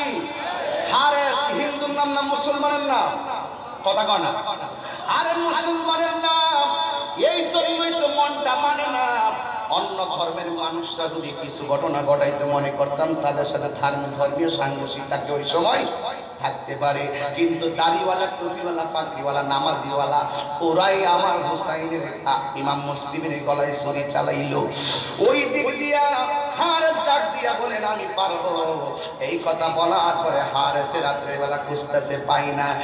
দিক দিয়া সকালবেলা তাদেরকে কাফেলা ধরাইয়া দিল। কিন্তু কাফেলা ছোট বাচ্চাগুলো উপরে ওঠার জায়গা পায় নাই, পিছন পিছন হাঁটতে হাঁটতে যাইতেছে। কিন্তু বালুর আর পাথরের কারণে ছোট্ট বাচ্চাগুলোর পায়ের পালাগুলো ঠসা পড়ে গেছে। কাফেলার সঙ্গে আর যাইতে পারে নাই। শেষ পর্যন্ত ওদের হাঁটার গতি কমে গেছে, কলিজা শুকাইয়া গেছে। আর হাঁটতে পারে না।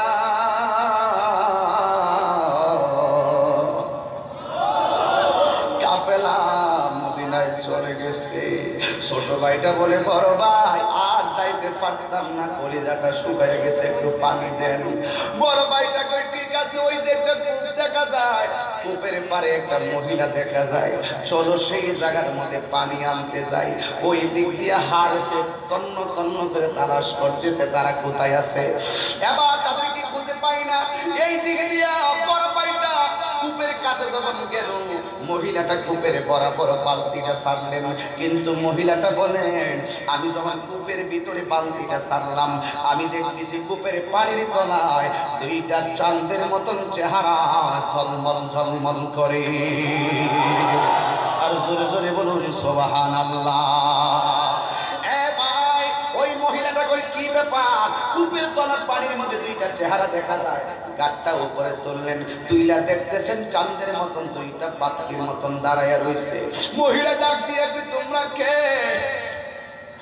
বড় ভাইটা ছোট ভাইয়ের চেহারা দিকে তাকায়, আর ছোট ভাইটা বড় ভাইয়ের চেহারা দিকে তাকায়। আমাদেরকে মারার জন্য তো সবাই তালাশ করতেছে। এখন যদি নাম বলি, আমাদেরকে বুঝা ফেলাইব। বড় ভাইটা ডাক দিয়া কয়, আমার পরিচয় চেয়েছেন, আমাদের কোনো পরিচয় নয়। আমরা হইলাম দুইজন মদিনার গোলা কোথায় যাবে? কই মদিনায় যাব। কই কীভাবে যাবে? কই কাফেলার সঙ্গে আসছিলাম। যাইতে পারি নাই। এখন কি করব? রাস্তা তো চিনি না। মহিলাটা ডাক দিয়ে কই, এখন কি করব? কই, পানি পান করব। পানি খাওয়াইলে মহিলাটা ডাক দিয়ে বলেন, তোমরা এখন কোনো কাফেলা পাবে না। আগামীকাল সকালবেলা আমি ধরাইয়া দিব। তবে আমি যেই বাড়িতে কাজ করি, ওই বাড়িতে তোমরা রাত্রে থাকবা। ওই মহিলাটা, দুইটা সন্তানকে ওই বাড়িতে নিয়ে গেলেন। ওই মহিলাটার কাছে নিয়ে গেলেন। কিন্তু যেখানে আবু জাহেল আছে, সেখানে আমার নবী মোহাম্মদ সাল্লাহ সাল্লামের ভালোবাসার স্লোগান ছিল যেখানে নমরুদ্দা ছিল, সেখানে ইব্রাহিম ছিল, যেখানে ফেরাউন্না ছিল, সেখানে তো মুসা নবী, যেখানে ইবনে জিয়াদের বাহিনী, সেখানে একটা মহিলা আহলে বায়াতের পাগল। বাড়ির মধ্যে গেল, যাওয়ার পরে ডাক দিয়া, তোমরা কে গো? সব খুলে বললেন, মহিলাটা বলেন, ঠিক আছে, তোমরা এখন কোনো কাফেলা পাবে না। মহিলাটা এদেরকে গোসল করাইলেন। বন্ধুরে, গোসল করাইতে যাইয়া পায়ের তলার মধ্যে যে ঠসাগুলা পড়ে গেছে, বালুগুলা ভিতরে ঢুকে আছে, ওই বালুগুলো সুন্দর করে আসলের মাথা দিয়া বের করলেন আর পা গুলা মুছে দিলেন। মাথায় তেল দিলেন, খাওয়াইলেন, খাওয়াইয়া শাড়ি কাপড় শাড়ি কাপড় দিয়ে একটা রুম বানাইছে। তোমরা শাড়ি কাপড়ের এই পাশে ঘুমায়া থাকবা। তোমরা একটা কথাও বলবা না, এখানে ঘুমায়া থাকবা। ঠিক আছে, এবার তারা ওখানে ঘুমায়া রইল। আর ওই দিকটা যে চ্যালেঞ্জটা গ্রহণ করছিল স্বর্ণ মুদ্রার পাবে, ওই লোকটা হলো ওই মহিলাটার স্বামী। তার নাম হলো হারেস। ওই লোকটা সারাদিন তাদেরকে না পাইয়া বাড়ির মধ্যে আসছে। কই তাড়াতাড়ি গোসলের পানি দে। গোসলের পানি দিন কই তাড়াতাড়ি খাবার দে। এবার তাড়াতাড়ি খাবার দিলেন। কই তাড়াতাড়ি শুইয়া যাও, শুইয়া গেলেন। শুইয়া শুইয়া স্বামী স্ত্রীকে ডাক দিয়ে আমার সকাল সকাল ডাক দিবে। স্ত্রী ডাক দিয়ে স্বামী গো,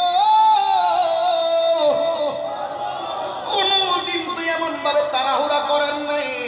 আজকে কেন এমন ভাবে তাড়াহুড়া করতেছেন, তার কারণটা কি? এবার স্ত্রীকে স্বামী ডাক দিয়ে তুমি শোনো না। জীবনে ইংরেজিয়াদের শাসন গভর্নরের চাকরি করলাম অনেক বছর। এমন বড় ধরনের কোনো অফার আমি পাই নাই। বড় ধরনের কোনো অফার পাই নাই। এত বড় কোনো অফার পাই নাই। আজকে এমন একটা অফার পাইছি, এই দেশে নাকি ইমাম মুসলিমের দুইটা সন্তান আছে। এই সন্তানগুলোর দইটা নিতে পারলে আমি অনেক স্বর্ণ মুদ্রা পামো। এই কথা যেই মাত্র বলল স্ত্রী ডাক দিয়া বলে, স্বামী গো, না না, আপনি ঘুমায় থাকেন, সকালে ডাক দিয়া দিব কিন্তু একটা কথা মনে রাখবেন, যারা লোভে পড়ে তাদের ঘুম হয় না। যারা লুবি তারা লুবি যারা, তাদের জীবন ধ্বংস। লোভে পাপ, পাপে মৃত্যু। লোভ করা ভালো না, হিংসা করা ভালো না, অহংকার করা ভালো না। এবার স্বামী স্ত্রীকে নিয়ে শুয়ে রইলেন। কিন্তু হঠাৎ কইরা ওই যে দুইটা ভাই শুয়ে আছে, কি জানে ছোট ভাই একটা স্বপ্ন দেখছে, একটা চিৎকার মারছে। যেই মাত্র চিৎকার মারলো, বড় ভাইটা মুখ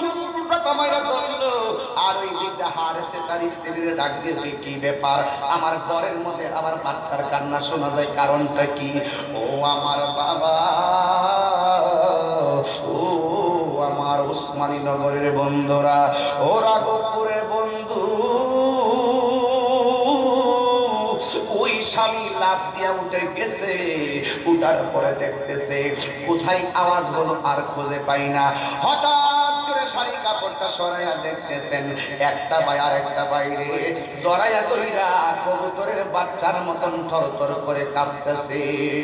এই দিক দিয়া, ওই চুলের মধ্যে ধরলো।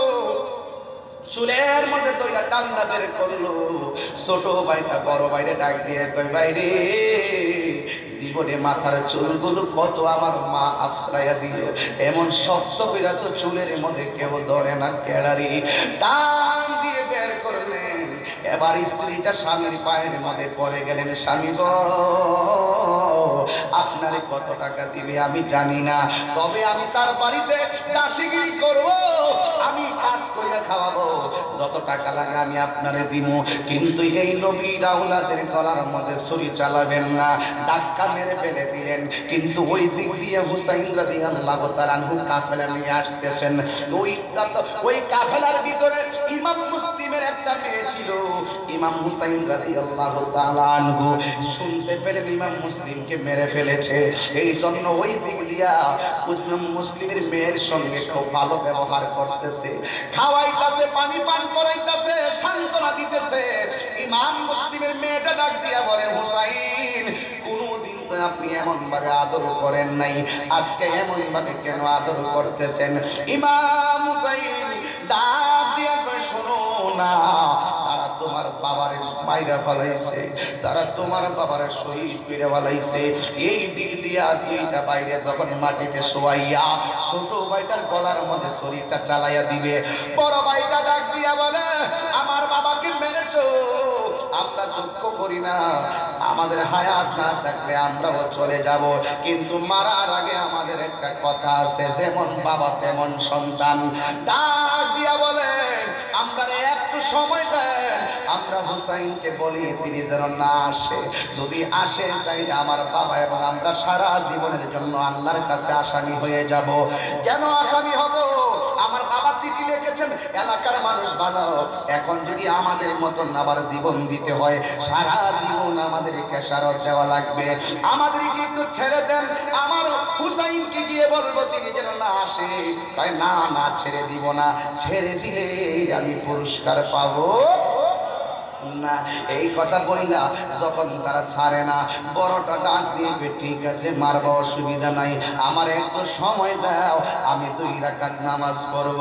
দুইটা সন্তান, দুইটা না রাকাত নামাজ পড়া যেই মাত্র দাঁড়াইলো টাক্কা পাইলা পরকারে মাটিতে ফালাইয়া দিল। গলার মধ্যে ছুরিটা যখন চালাইয়া দিবে দল, রক্তের বাদন পাঁচটা একটা সংসারে থাকো, জীবনে ঝগড়া না। পাঁচটা একটা ফ্যামিলিতে থাকলে জীবনে কামড়া না। সমাজের মানুষ কিন্তু এক থাকতে পছন্দ করে না। ছলে বলে কৌশলে সংসারের ভিতরে আগুন লাগাইয়া দে। আমার একটা হাতুর বউয়া একতাই হলো শক্তি। তোমার বাবা মার সামনে যখন পাঁচটা ভাই মিল কইরা একটা ডাইনিং টেবিলের মধ্যে খাইতে বসবা, মা যখন তাকে দেখে পাঁচটা ভাই একসাথে খাইতে বসছে। মা গোপনে গোপনে কই দেখছেন নি? আমার পোলা বানগুলোর একসাথে কত সুন্দর লাগে। আর সন্তান ভাইয়ে ভাইয়ে তখন কামড়া কামড়ি করো, ঝগড়া করো, মা বাসা নাই, কার কাছে বিচার দিব? এমন এই যে সংসার সমাজে আছে না না বিশ্বনাথ আরেকজন থাকো জগন্নাথপুর আরেকজন থাকো উসমানীনগর আরেকজন থাকো, আরেক থানায়। কিন্তু মনের মিল থাকলে যে কোনো জায়গায় থাকো, আল্লাহ রহমত দিবে। আর মনের মিল না তাই কা ভাইয়ে ভাইয়ে যদি রক্তাক্ত করো, তাইলে কি দুঃখ আর রাখার কোনো জায়গা নাই? জীবনে কোনোদিন রক্তের সঙ্গে বেইমানি করো না। বাইকে যদি দশ হাজার টাকা দিয়ে মনে করো আমি বেশি দিলাইছি, মনে করো না যে তুমি একটা লস করেছ। না না না না। আমার সমাজের ভিতরে এমন হয়েছে নিজের রক্তের সঙ্গে শুধু বেইমানি বেইমানি। বাহিরের মানুষ ভালো লাগে, ঘরের ভাই ভালো লাগে না। বাহিরের মানুষ ভালো লাগে, নিজের বাবা ভালো লাগে না, নিজের মা ভালো লাগে না। এমন কিছু সন্তান সমাজে আছে না না এই দেখো ভাই বড় ঘর, রক্তের বাঁধন ছোট ভাইটার সামনে তখন বড় ভাইয়ের গলার মধ্যে ছুরিটা চালাইবো। ছোট ভাইটা ডাক দিয়ে কয়, খামোশ। সত্যি কি আমার ভাইকে জবাই করে ফেলবেন? হ্যাঁ। স্ত্রীটা দৌড় দিয়ে তার স্বামীর পায়ে পড়ে মাইরেন না মারতে যদি ভাই আমারে মারে। মারে কিন্তু ছোট ভাইটা একটা প্রেমের খেলা দেখাইয়া দিছে। ছোট ভাইটা ডাক দিয়া বলে, হারে, যদি মারতে হয় আমার ভাইয়ের আগে আমারে মারেন। আমি ছোট ভাইয়ের সামনে বড় ভাইয়ের ছড়ি চালাইবেন। আমি তাকে তাকে দেখব, এটা কোনো দিন হতে পারে না। এই কথাটা সে কত ওজন আমি কিন্তু এই বয়ানগুলো করতে পারি না। আমার বুক ফাইটা যায়, আমার আমি অধৈর্য হয়ে যাই বয়ানগুলো করলে। আমি ধৈর্যের ভাত ভেঙে যাই এমন এক অবস্থা হয়। এরপর আমি শক্তি নিয়ে ওয়াজ করতেছি। আমি জানি না আপনারা আমার কথাগুলো কেমনে রিসিভ করবেন। যেহেতু এলাকায় খুব কম আসি। কিন্তু ওই ছোট ভাইটা ডাক দিয়ে কয় আমার গলার মধ্যে ছুরিটা চালান। ওই ছোটটারে তারটা মাইরা গলায় যখন ছুরি চালাইয়া দিবে বড় ভাইটা ডাক দিয়ে কয়, তুমি কেমনে ভাবলা আমার ছোট ভাইটারে আমার সামনে জবাই করো। জবাই যদি করতে হয় আমারে আগে জবাই করো। আমার বাংলাদেশে দেখবেন কিছু কিছু বড় ভাই আছে সংসারের জন্য জীবনটা পুরা দিয়া দেয়। আরে বাবা এরা সংসারটা এমন ছোট ভাইটা যদি কয়, মা, একটা মোবাইল লাগবো। দেখবেন বেতন না ঋণ করে হলো ভাইয়ের জন্য মোবাইল পাঠাবে, কথা গণ ঠিক কিনা? বড় ভাইয়ের সঙ্গে আবার নিজের ভাই আবার বেইমানি করে। এই বেইমানিটা না। বড় ভাইয়ের অবদান সংসারে কেমন নিজের দুইটা কিডনি দিয়া আরেকটা কিডনি আছে। এরপর ভাইয়ের জন্য ভাই রক্ত দিতে পারে। এই জন্য বড় ভাইটার সম্মান কইল সিনিয়রকে সম্মান করে আমি ওয়াজ করছিলাম, মুরব্বীদেরকে সম্মান করিল মুরব্বীদেরকে সম্মান করলে আমার আল্লাহ মহব্বত করবেন। এবার যখন ছোট ভাইয়ের গলার মধ্যে ছুরি চালাইব আমার সামনে আমার ছোট ভাইরে ছুরি চালাইবা। আমার বাবা চলে গেছে, ছোট ভাইটা আমার কাছে আমানত। না না, আমার গলায় ছুরি চালাও। এবার ছোট ভাইটার ছুরিটা ফালাই, আবার বড় ভাইরে নিয়ে ছুরিটা ধরল। একটা প্রেমের খেলা চলতেছে এই জায়গার ভিতরে। দিনের জন্য, হকের জন্য বেইমানের তলোয়ারের নিচে হাসি মুখে জীবন দেওয়ার জন্য প্রতিযোগিতা চলছে। এবার ছোট ভাইটা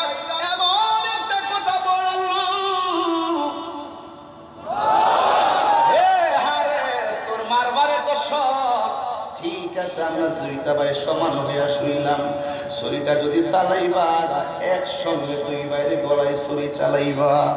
এবার দুইটা বাইরে শুয়াইয়া, একসঙ্গে দুইটা মধ্যে চালাইয়া দিল। চালাইয়া দিয়া তাদেরকে দুনিয়া থেকে বিদায় করে দিল। ইঞ্জিনিং টাইমে ওই দিক দিয়া হুসাইন কাফলা নিয়ে ঢুকে গেছে।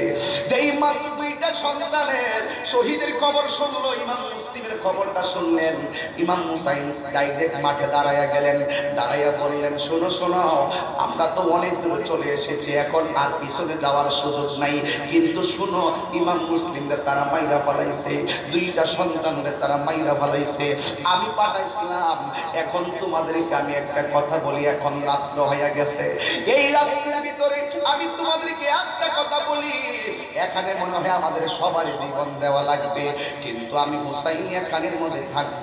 তোমরা যারা চলে যেতে চাও, রাতের অন্ধকারে চলে যাবে, কারণ আমি চাই না তোমরা এসে আবার বিপদের সম্মুখীন হও। এই কথা বইলা হুসাইন রাতের বেলা মিটিং করল।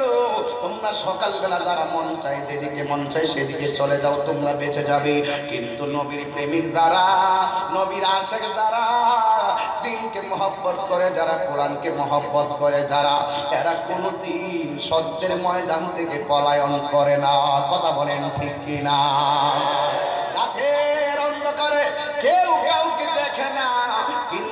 ইমাম মুসাইন বলেন, সকালবেলা হয়ে গেল। আমি তাকায় দেখলাম, একটা মানুষ লড়াচড়া করে নাই। এবার হুসাইন কয়, তোমরা কেন গেলা না? কয় দিনের জন্য, হকের জন্য আমরা জীবন দিব, কিন্তু ইমাম দিব না। আমরা ইমান দিব না। এবার হুসাইন তাকায়া দেখতেছেন বিয়াদবের দলেরা ইমাম হুসাইনকে বের দিয়া পানিটারে বন্ধ করে দিছে।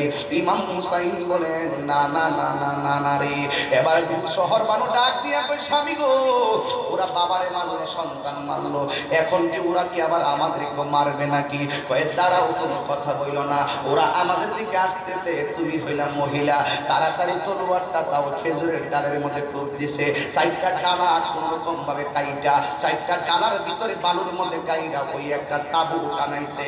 তাবু টানাইয়া শহর মানুষ ডাক দিয়া শহর মানুষ, ওরা আসতেছে আমাদের দিকে, তবে তারা তোমার জন্য পরপুরুষ পরপুরুষের সামনে পর্দা করা লাগবে। তুমি তাড়াতাড়ি তাবুর ভিতরে চলে যাও। নামাজ যেমন ফরজ, পর্দাও তেমন ফরজ। মৃত্যুর জিহাদের ময়দানে আল্লাহর ফরজ ত্যাগ করে না। শহর বানু ভিতরে চলে গেছে।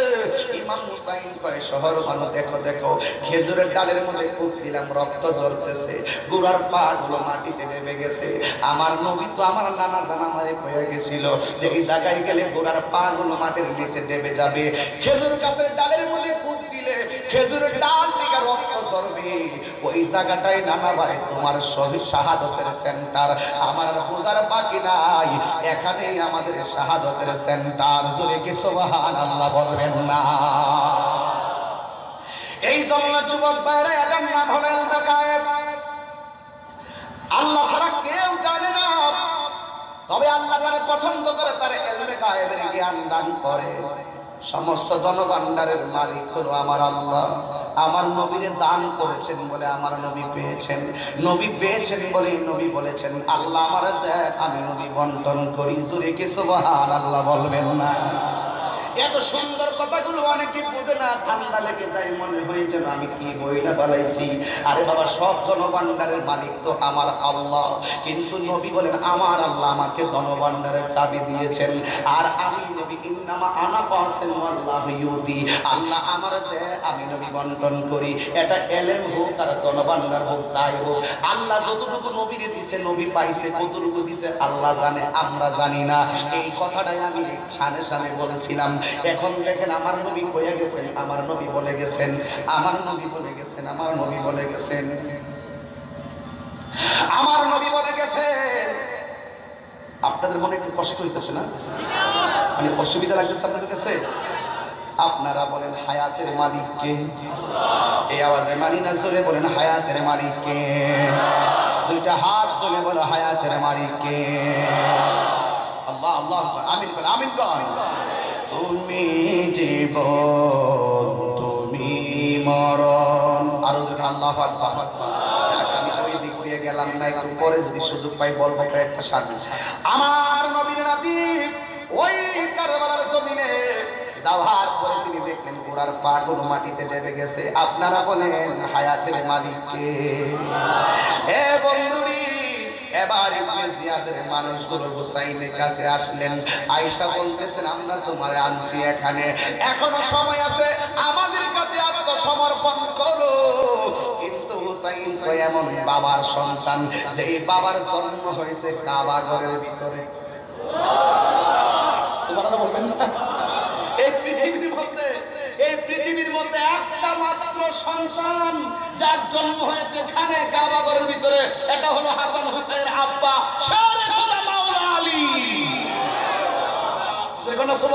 বলেন। যার ব্যাপারে আমার বলেছেন আমি শহর, আমার হলো সেই কি বাবার সন্তান? ব্যাপার সেটা আছে নাকি? আবার কোন মায়ের সন্তান যেই মা কোটি কোটি জান্নাতের রমণীদের সরদারি খাতরে জান্নাত, মা ফাতেমার সন্তান। সন্তান কে? হলো সময় আমার করো। হুসাইন জবাব দিয়েছে, জান দিব কিন্তু ঈমান দিব না। আপনারা কি জান দিবেন, ঈমান দিয়ে দিবেন নাকি? ইমানের দাম বেশি না সম্পদের দাম বেশি? আর একটু জোরে বলেন, কিসের দাম বেশি? ইমানের দাম বেশি, ঠিক কিনা গো? বলছে, আমি জীবন দিব কিন্তু ঈমান দিব না। ওই দিক দিয়ে সাথে সাথে ঘোষণা করলেন পানিগুলো করে দেয়। আমি বুঝলাম না, কার জন্য পানি বন্ধ করলা? হ্যাঁ কার জন্য তুমি পানি বন্ধ করলা? যেই নবী সৃষ্টি না হলে পানি সৃষ্টি হতো না। সেই নবীর নাতির জন্য পানি বন্ধ করেছ। রুজ হাসর মে কিয়া জবাব হয়? মুস্তফা কি সামনে নবীর সামনে কীভাবে মুখ দেখাবে? ঠিক কি না গো? এবার হুসাইন রাদিয়াল্লাহু আনহু একের পর এক যেই মাত্র দাঁড়িয়ে গেলেন, হঠাৎ করে তার সন্তান ছিল, যার নাম হলো আলী আকবর। আর ইমাম হুসাইনের তিনটা সন্তান, এই ইতিহাসগুলো বলার দরকার আছে। কারণ এই ছোট্ট পোলাপানগুলো ইতিহাসগুলো জানে না। আপনারা বড় যারা আছেন, আপনারা জানেন। এমনি ইতিহাসকে বিকৃত করার জন্য কত ষড়যন্ত্র চলছে কথা বলেন, ঠিক না বেঠে?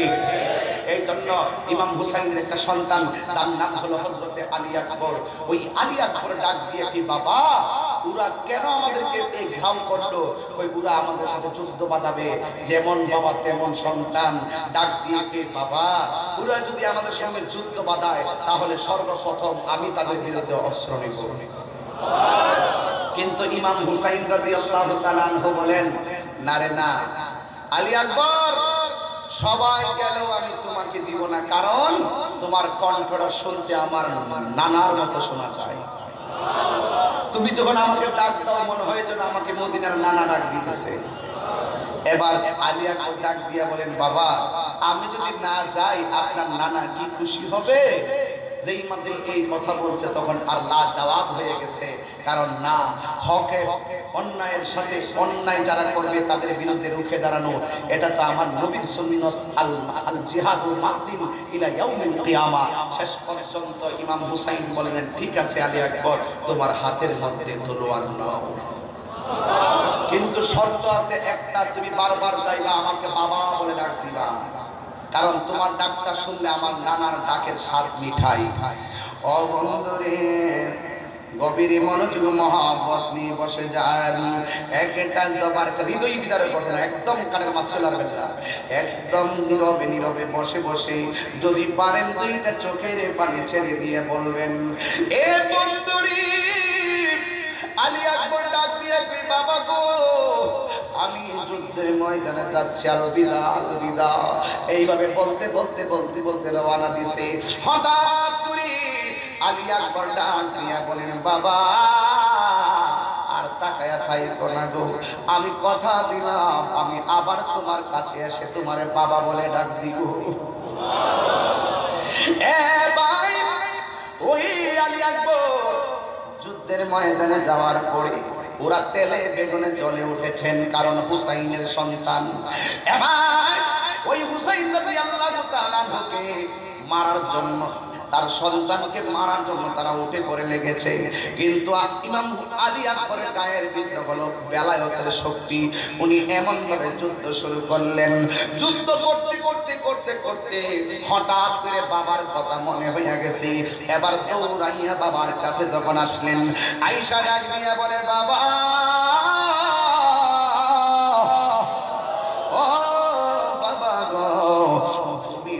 কাছে আমি এসেছি। আমি বড় ক্লান্ত, আমি আবার যুদ্ধের মাঠে যাব। বাবা, তোমার কাছে আমি কিচ্ছু চাই নাই জীবনে। আজকে আমি একটা জিনিস চাবো, তুমি আমার দিবানি।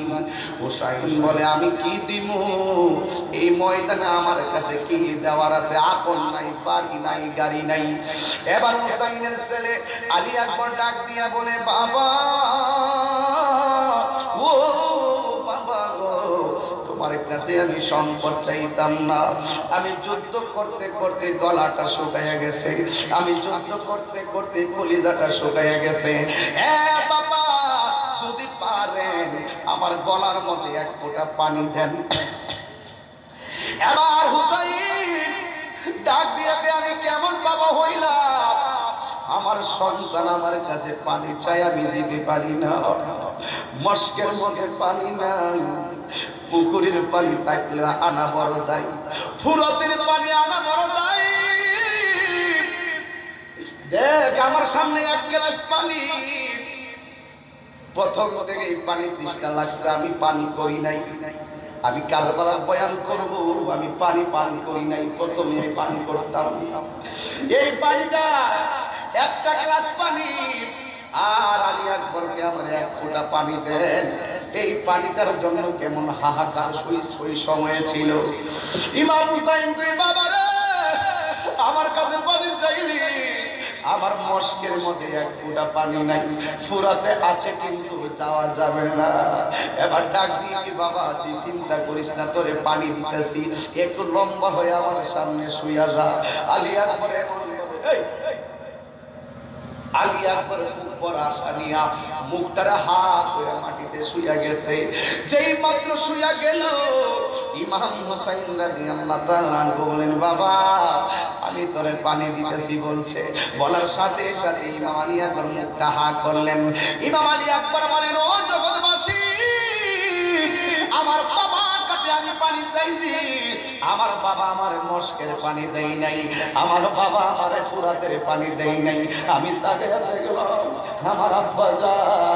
আমার আব্বার শুকনা জিব্বাটা আমার মুখের ভিতরে ঢুকে দিছে। পা থেকে তুই পানি চুষা চুষা নে। ইমাম আলী আকবর বলে, বাবা আছেন বলে আপনার কাছে আমি পানি চাইলাম। আমি তো দেখতেছি আমার জিব্বার চাইতে আপনার জিব্বার শোক না। আপনার বাবা নাই দেখে বলে আপনি পানি চাইতে পারেন না। বাবা গো, আর পানি লাগবে না। আমার জন্য আল্লাহ ওই শাহাদাতের পানি অপেক্ষা করতেছি। এবার ইমাম আলী আকবর সোজা যুদ্ধের ময়দানে চলে গেল। নাই নাই, আলী আকবর নাই, কিন্তু একের পরে আবার কাশেম নাই, একের পর একবার আলী আসগর নাই। সব শহীদ হয়ে গেল, ইমাম হুসাইন একলা হয়ে গেল। ঘটনা তো বড় লম্বা, সব বলা যাবে না। এই বয়ানগুলো আমি করতে পারি না। আরে বাবা রে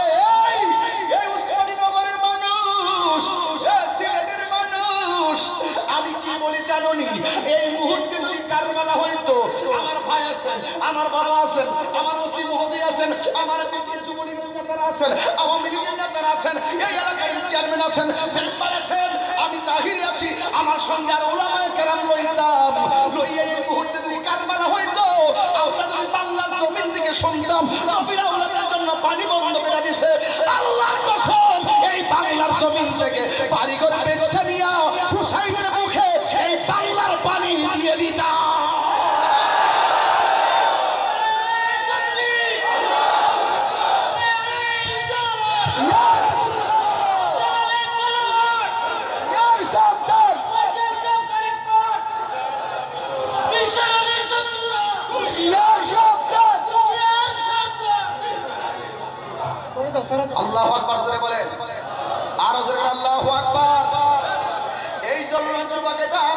কথা বলছি। এটা আমার টাইমের কথা বলছি। আরে ভাই, আপনার বাড়িতে শত্রু আসলেও পানি দিতে না করতেন না। খাবার না থাকতে পারে পানি দিতে কেউ না করে না। কিন্তু নবীর হুসাইন সবগুলো হারাইয়া রাতের বেলা একটু ঘুমাইলেন, ঘুম থেকে উঠলেন। উঠার পরে ওই শহর বানো ডাক দিয়া বলে, স্বামী গো আমি আজকে রাতে একটা স্বপ্নে দেখলাম কয় কি আমি দেখছি কারবালার জমিনে আল্লাহকে সে পাগল বেশে একটা মহিলা কারবালার ময়দান মাথার চুল দিয়া ঝাড়ু দিতেছে। আমি তারে জিগাইলাম, তুমি কে গো? ওই মহিলাটা তুই আমার চিনস না। আমি অন্য কেউ না। আমি কারবালা ঝাড়ু দিতেছি, আমার চিনস না। আমি হইলাম হাত বলে জান্নাত হুসাইনের মা ফাতেমা। এইভাবে স্বপ্ন মিলাইতেছে হুসাইন কয়, আমিও তো একটা স্বপ্নে দেখছি। কয়, কি? আমি স্বপ্নে দেখলাম, আমার রহমাতুল্লিল আমার নানা জান, একটা পেয়ালা লয়া দাঁড়ায়া রইছে, বুঝতে বাকি নাই, আমার শাহাদতের ঘণ্টা বেজে গেছে। ওই মুহূর্তে নবীর পাশে একজন মানুষ, যার নাম হলো ওয়াহাব কালবি ডাক দিয়ে আপনি কি করবেন? হুসাইন বলে, আমি যুদ্ধের মাঠে যাব। এবার ডাক দিয়ে দাঁড়ান, আমি একটু আসতেছি। ওই ওয়াহাব কালবি তার মায়ের কাছে গেছে। যাইয়া ডাক দিয়া মা কারবালার জমিনে হুসাইন পরিবার সব শহীদ হয়ে গেছে। এখন হুসাইন যাবে কারবালার জমিনে। এবার মা ডাক আমি তোর কি লাগি? কই তুমি আমার সন্তান, আমি আমি আমার মা লাগো। তুই আমার কি লাগস? আমি তোমার ছেলে লাগি। তোর বিয়ে করে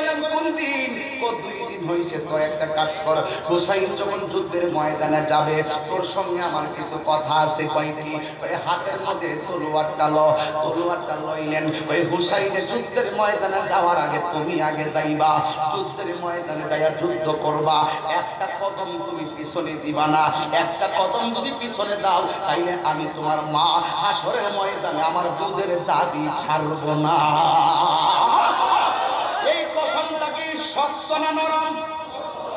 অনেক শক্ত এবং কঠিন কসম মায়ের দুধের কসমটা তো সাধারণ কথা না রে বাবা।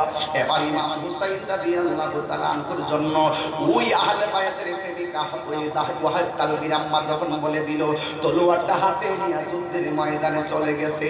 শত শত মানুষ ও ওহাব কালবির মাইরা ফালানোর জন্য লেগে গেছে। কিন্তু ওহাব কালবির সাথে আছে তার মায়ের দোয়া। ওহাব কালবির অন্তরে আছে আহলে বায়াতের মহব্বত। ওহাব কালবির অন্তরে আছে কোরআনের স্পিরিট, কথা বলেন ঠিক কিনা?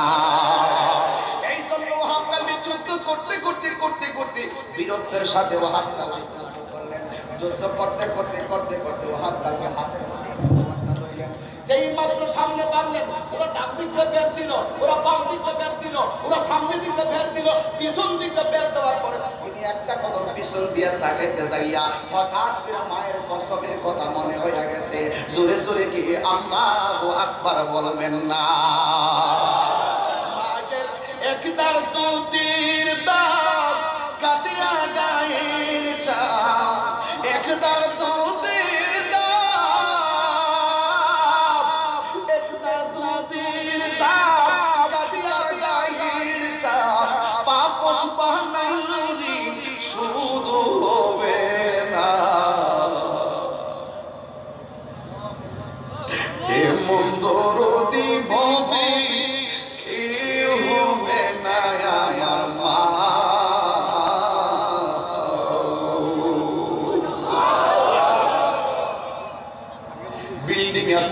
বাবা নাই বিল্ডিং আছে কিন্তু মা নাই ওই মার মাহফিলে আসি, আমার আম্মা মাহফিলে যাবি? আমার আব্বা প্রায় সময় কইতো, সমস্যা ছিল আমি কইতাম যে সমস্যা হইতে পারে। আব্বা শুধু একটা কথা কইতো, সমস্যা ইনশাল্লাহ হইব না। সব সময় আল্লাহর উপরে ভরসা করবা। এই সিলেটের জমিনে যখন আসি, কত ইউটিউবে, কত ফেসবুকে, কত বাধা বিপত্তি শুনি, কিন্তু আমার আব্বা কইছে, আল্লাহর উপরে ভরসা করবা। আমি যখন ভরসা করে আসি, আইসা দেখি এই সিলেট অঞ্চলে ভালোবাসার মানুষের কোনো অভাব নাই।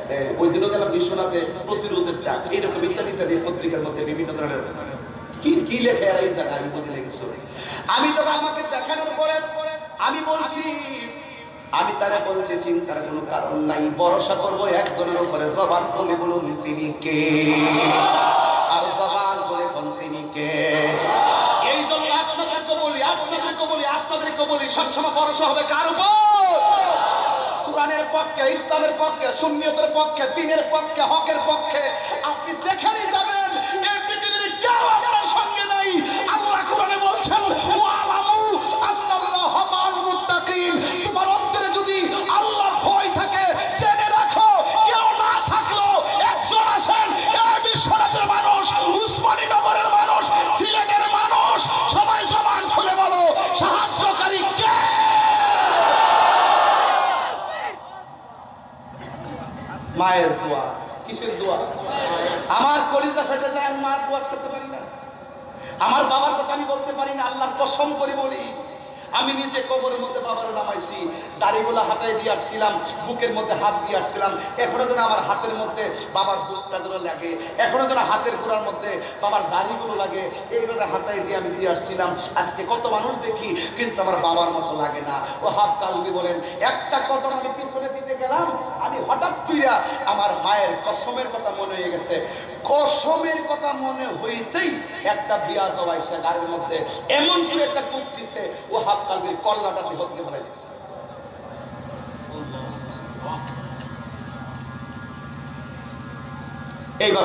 যে দেখেন এই। ওই চুলের মধ্যে এভাবে ধরছে। কল্লাটারে নিয়া মায়ের কাছে গেছে। যাই বলছে, এই অলক্ষণী মা তোর একমাত্র সন্তান নতুন বিয়ে করছে। এই সন্তানটারে দুধের কসম দিয়া শেষ করলি। তুই একটা অপয়া মা অলক্ষণী মা তুই একটা নির্দয়া মা নাফরমান মা। ওহাব কালবির আম্মার কাছে কল্লাটা দিছে। কল্লাটা দেখে ওহাব কালবির মা মুচকি মুচকি হাসতেছে। কি বাবা, ওই দিন যে রশিদপুর না কোন জায়গায় অ্যাক্সিডেন্ট হয়েছে এগারো জন না কয়জন সাথে মারা গেল? আর অনেকে আশঙ্কাজনক ছিল মুখোমুখি বাস, না না। বলেন তো অ্যাক্সিডেন্টে রক্ত মাখা লাশটা যখন মা দেখছে, তার কাছে কেমন লাগছে? এটার ব্যাখ্যা করা যাইব? এই মুহূর্তে যদি তাহিরি কল্লাটা কেটে, তাহিরি কল্লাটাকে নিয়ে মার কাছে দেওয়া হয়, মা কি মন মানবো? মা তো পুরো পাগলের মতন হয়ে যায় ঠিক কিনা কন? কিন্তু ওয়াহাব কালবির মা কাটা কল্লা, তরতাজা পোলাটারে বানাইলো। তরতাজা ছেলেটাকে কল্লাটা হাতের মধ্যে নিয়ে মুসকি মুসকি হাসতেছে। ওরা বলতেছে, তুমি কেমন ধরনের মা? সন্তানের কাটা কল্লা দেখে তুমি হাসতেছ। ওহাব কালবির মা, কই, আমি কি হাসতাম না তো কানতাম নি? ও তুমি হাসো কেন? একটু আগে ছিলাম আমি ওহাব কালবির মা, এখন আমি শহীদের মা। প্রেমের দাম আসেনি? প্রেমের দাম আসেনি? আমি এখন শহীদের মা। এই কথা বলার পরে ওরা বলতেছে, নে, তোর সন্তানের কল্লাটাকে কবর দিয়ে স্মৃতি হিসেবে রেখা দে। কাবির মা কল্লাটাকে হাতে নিলেন এই হাত থেকে এই হাতে আনলেন, আইনা কল্লাটাকে এইভাবে ঢিল মেরে ফেলে দিলেন। ফেলে দেওয়ার পরে ওরা বলতেছে, তুমি কেমন মা? একমাত্র সন্তানের স্মৃতি হিসাবে কল্লাটা না রেখে ঢিল মেরে করতে ফেলে দিলে কারণটা কি? মা ডাক দিয়ে কয়, আমার সন্তানকে আল্লাহ রাস্তায় দান করে দিছি। দান করা জিনিস ফেরত নেওয়া যায় নাই। আরও জোরে কন্যা সুবহানাল্লাহ বলেন। একবারে বলছি কারবালার বয়ান আমি যদি এগারো ঘণ্টা করি এটার কোনো কুল কিনার আমি পাই না। বাহাত্তর জন শহীদের বাহাত্তরটা ঘটনা আছে ভাই। আমি শুধু একটা করে একটা আলী আকবর আর একটা ওহাব কালবি মাঝখান দিয়ে কাশে মালিয়াজগর যা আছে, ঘুর থেকে শুরু করে সব ছেড়ে দিছি কেন? আমার পক্ষে সম্ভব না।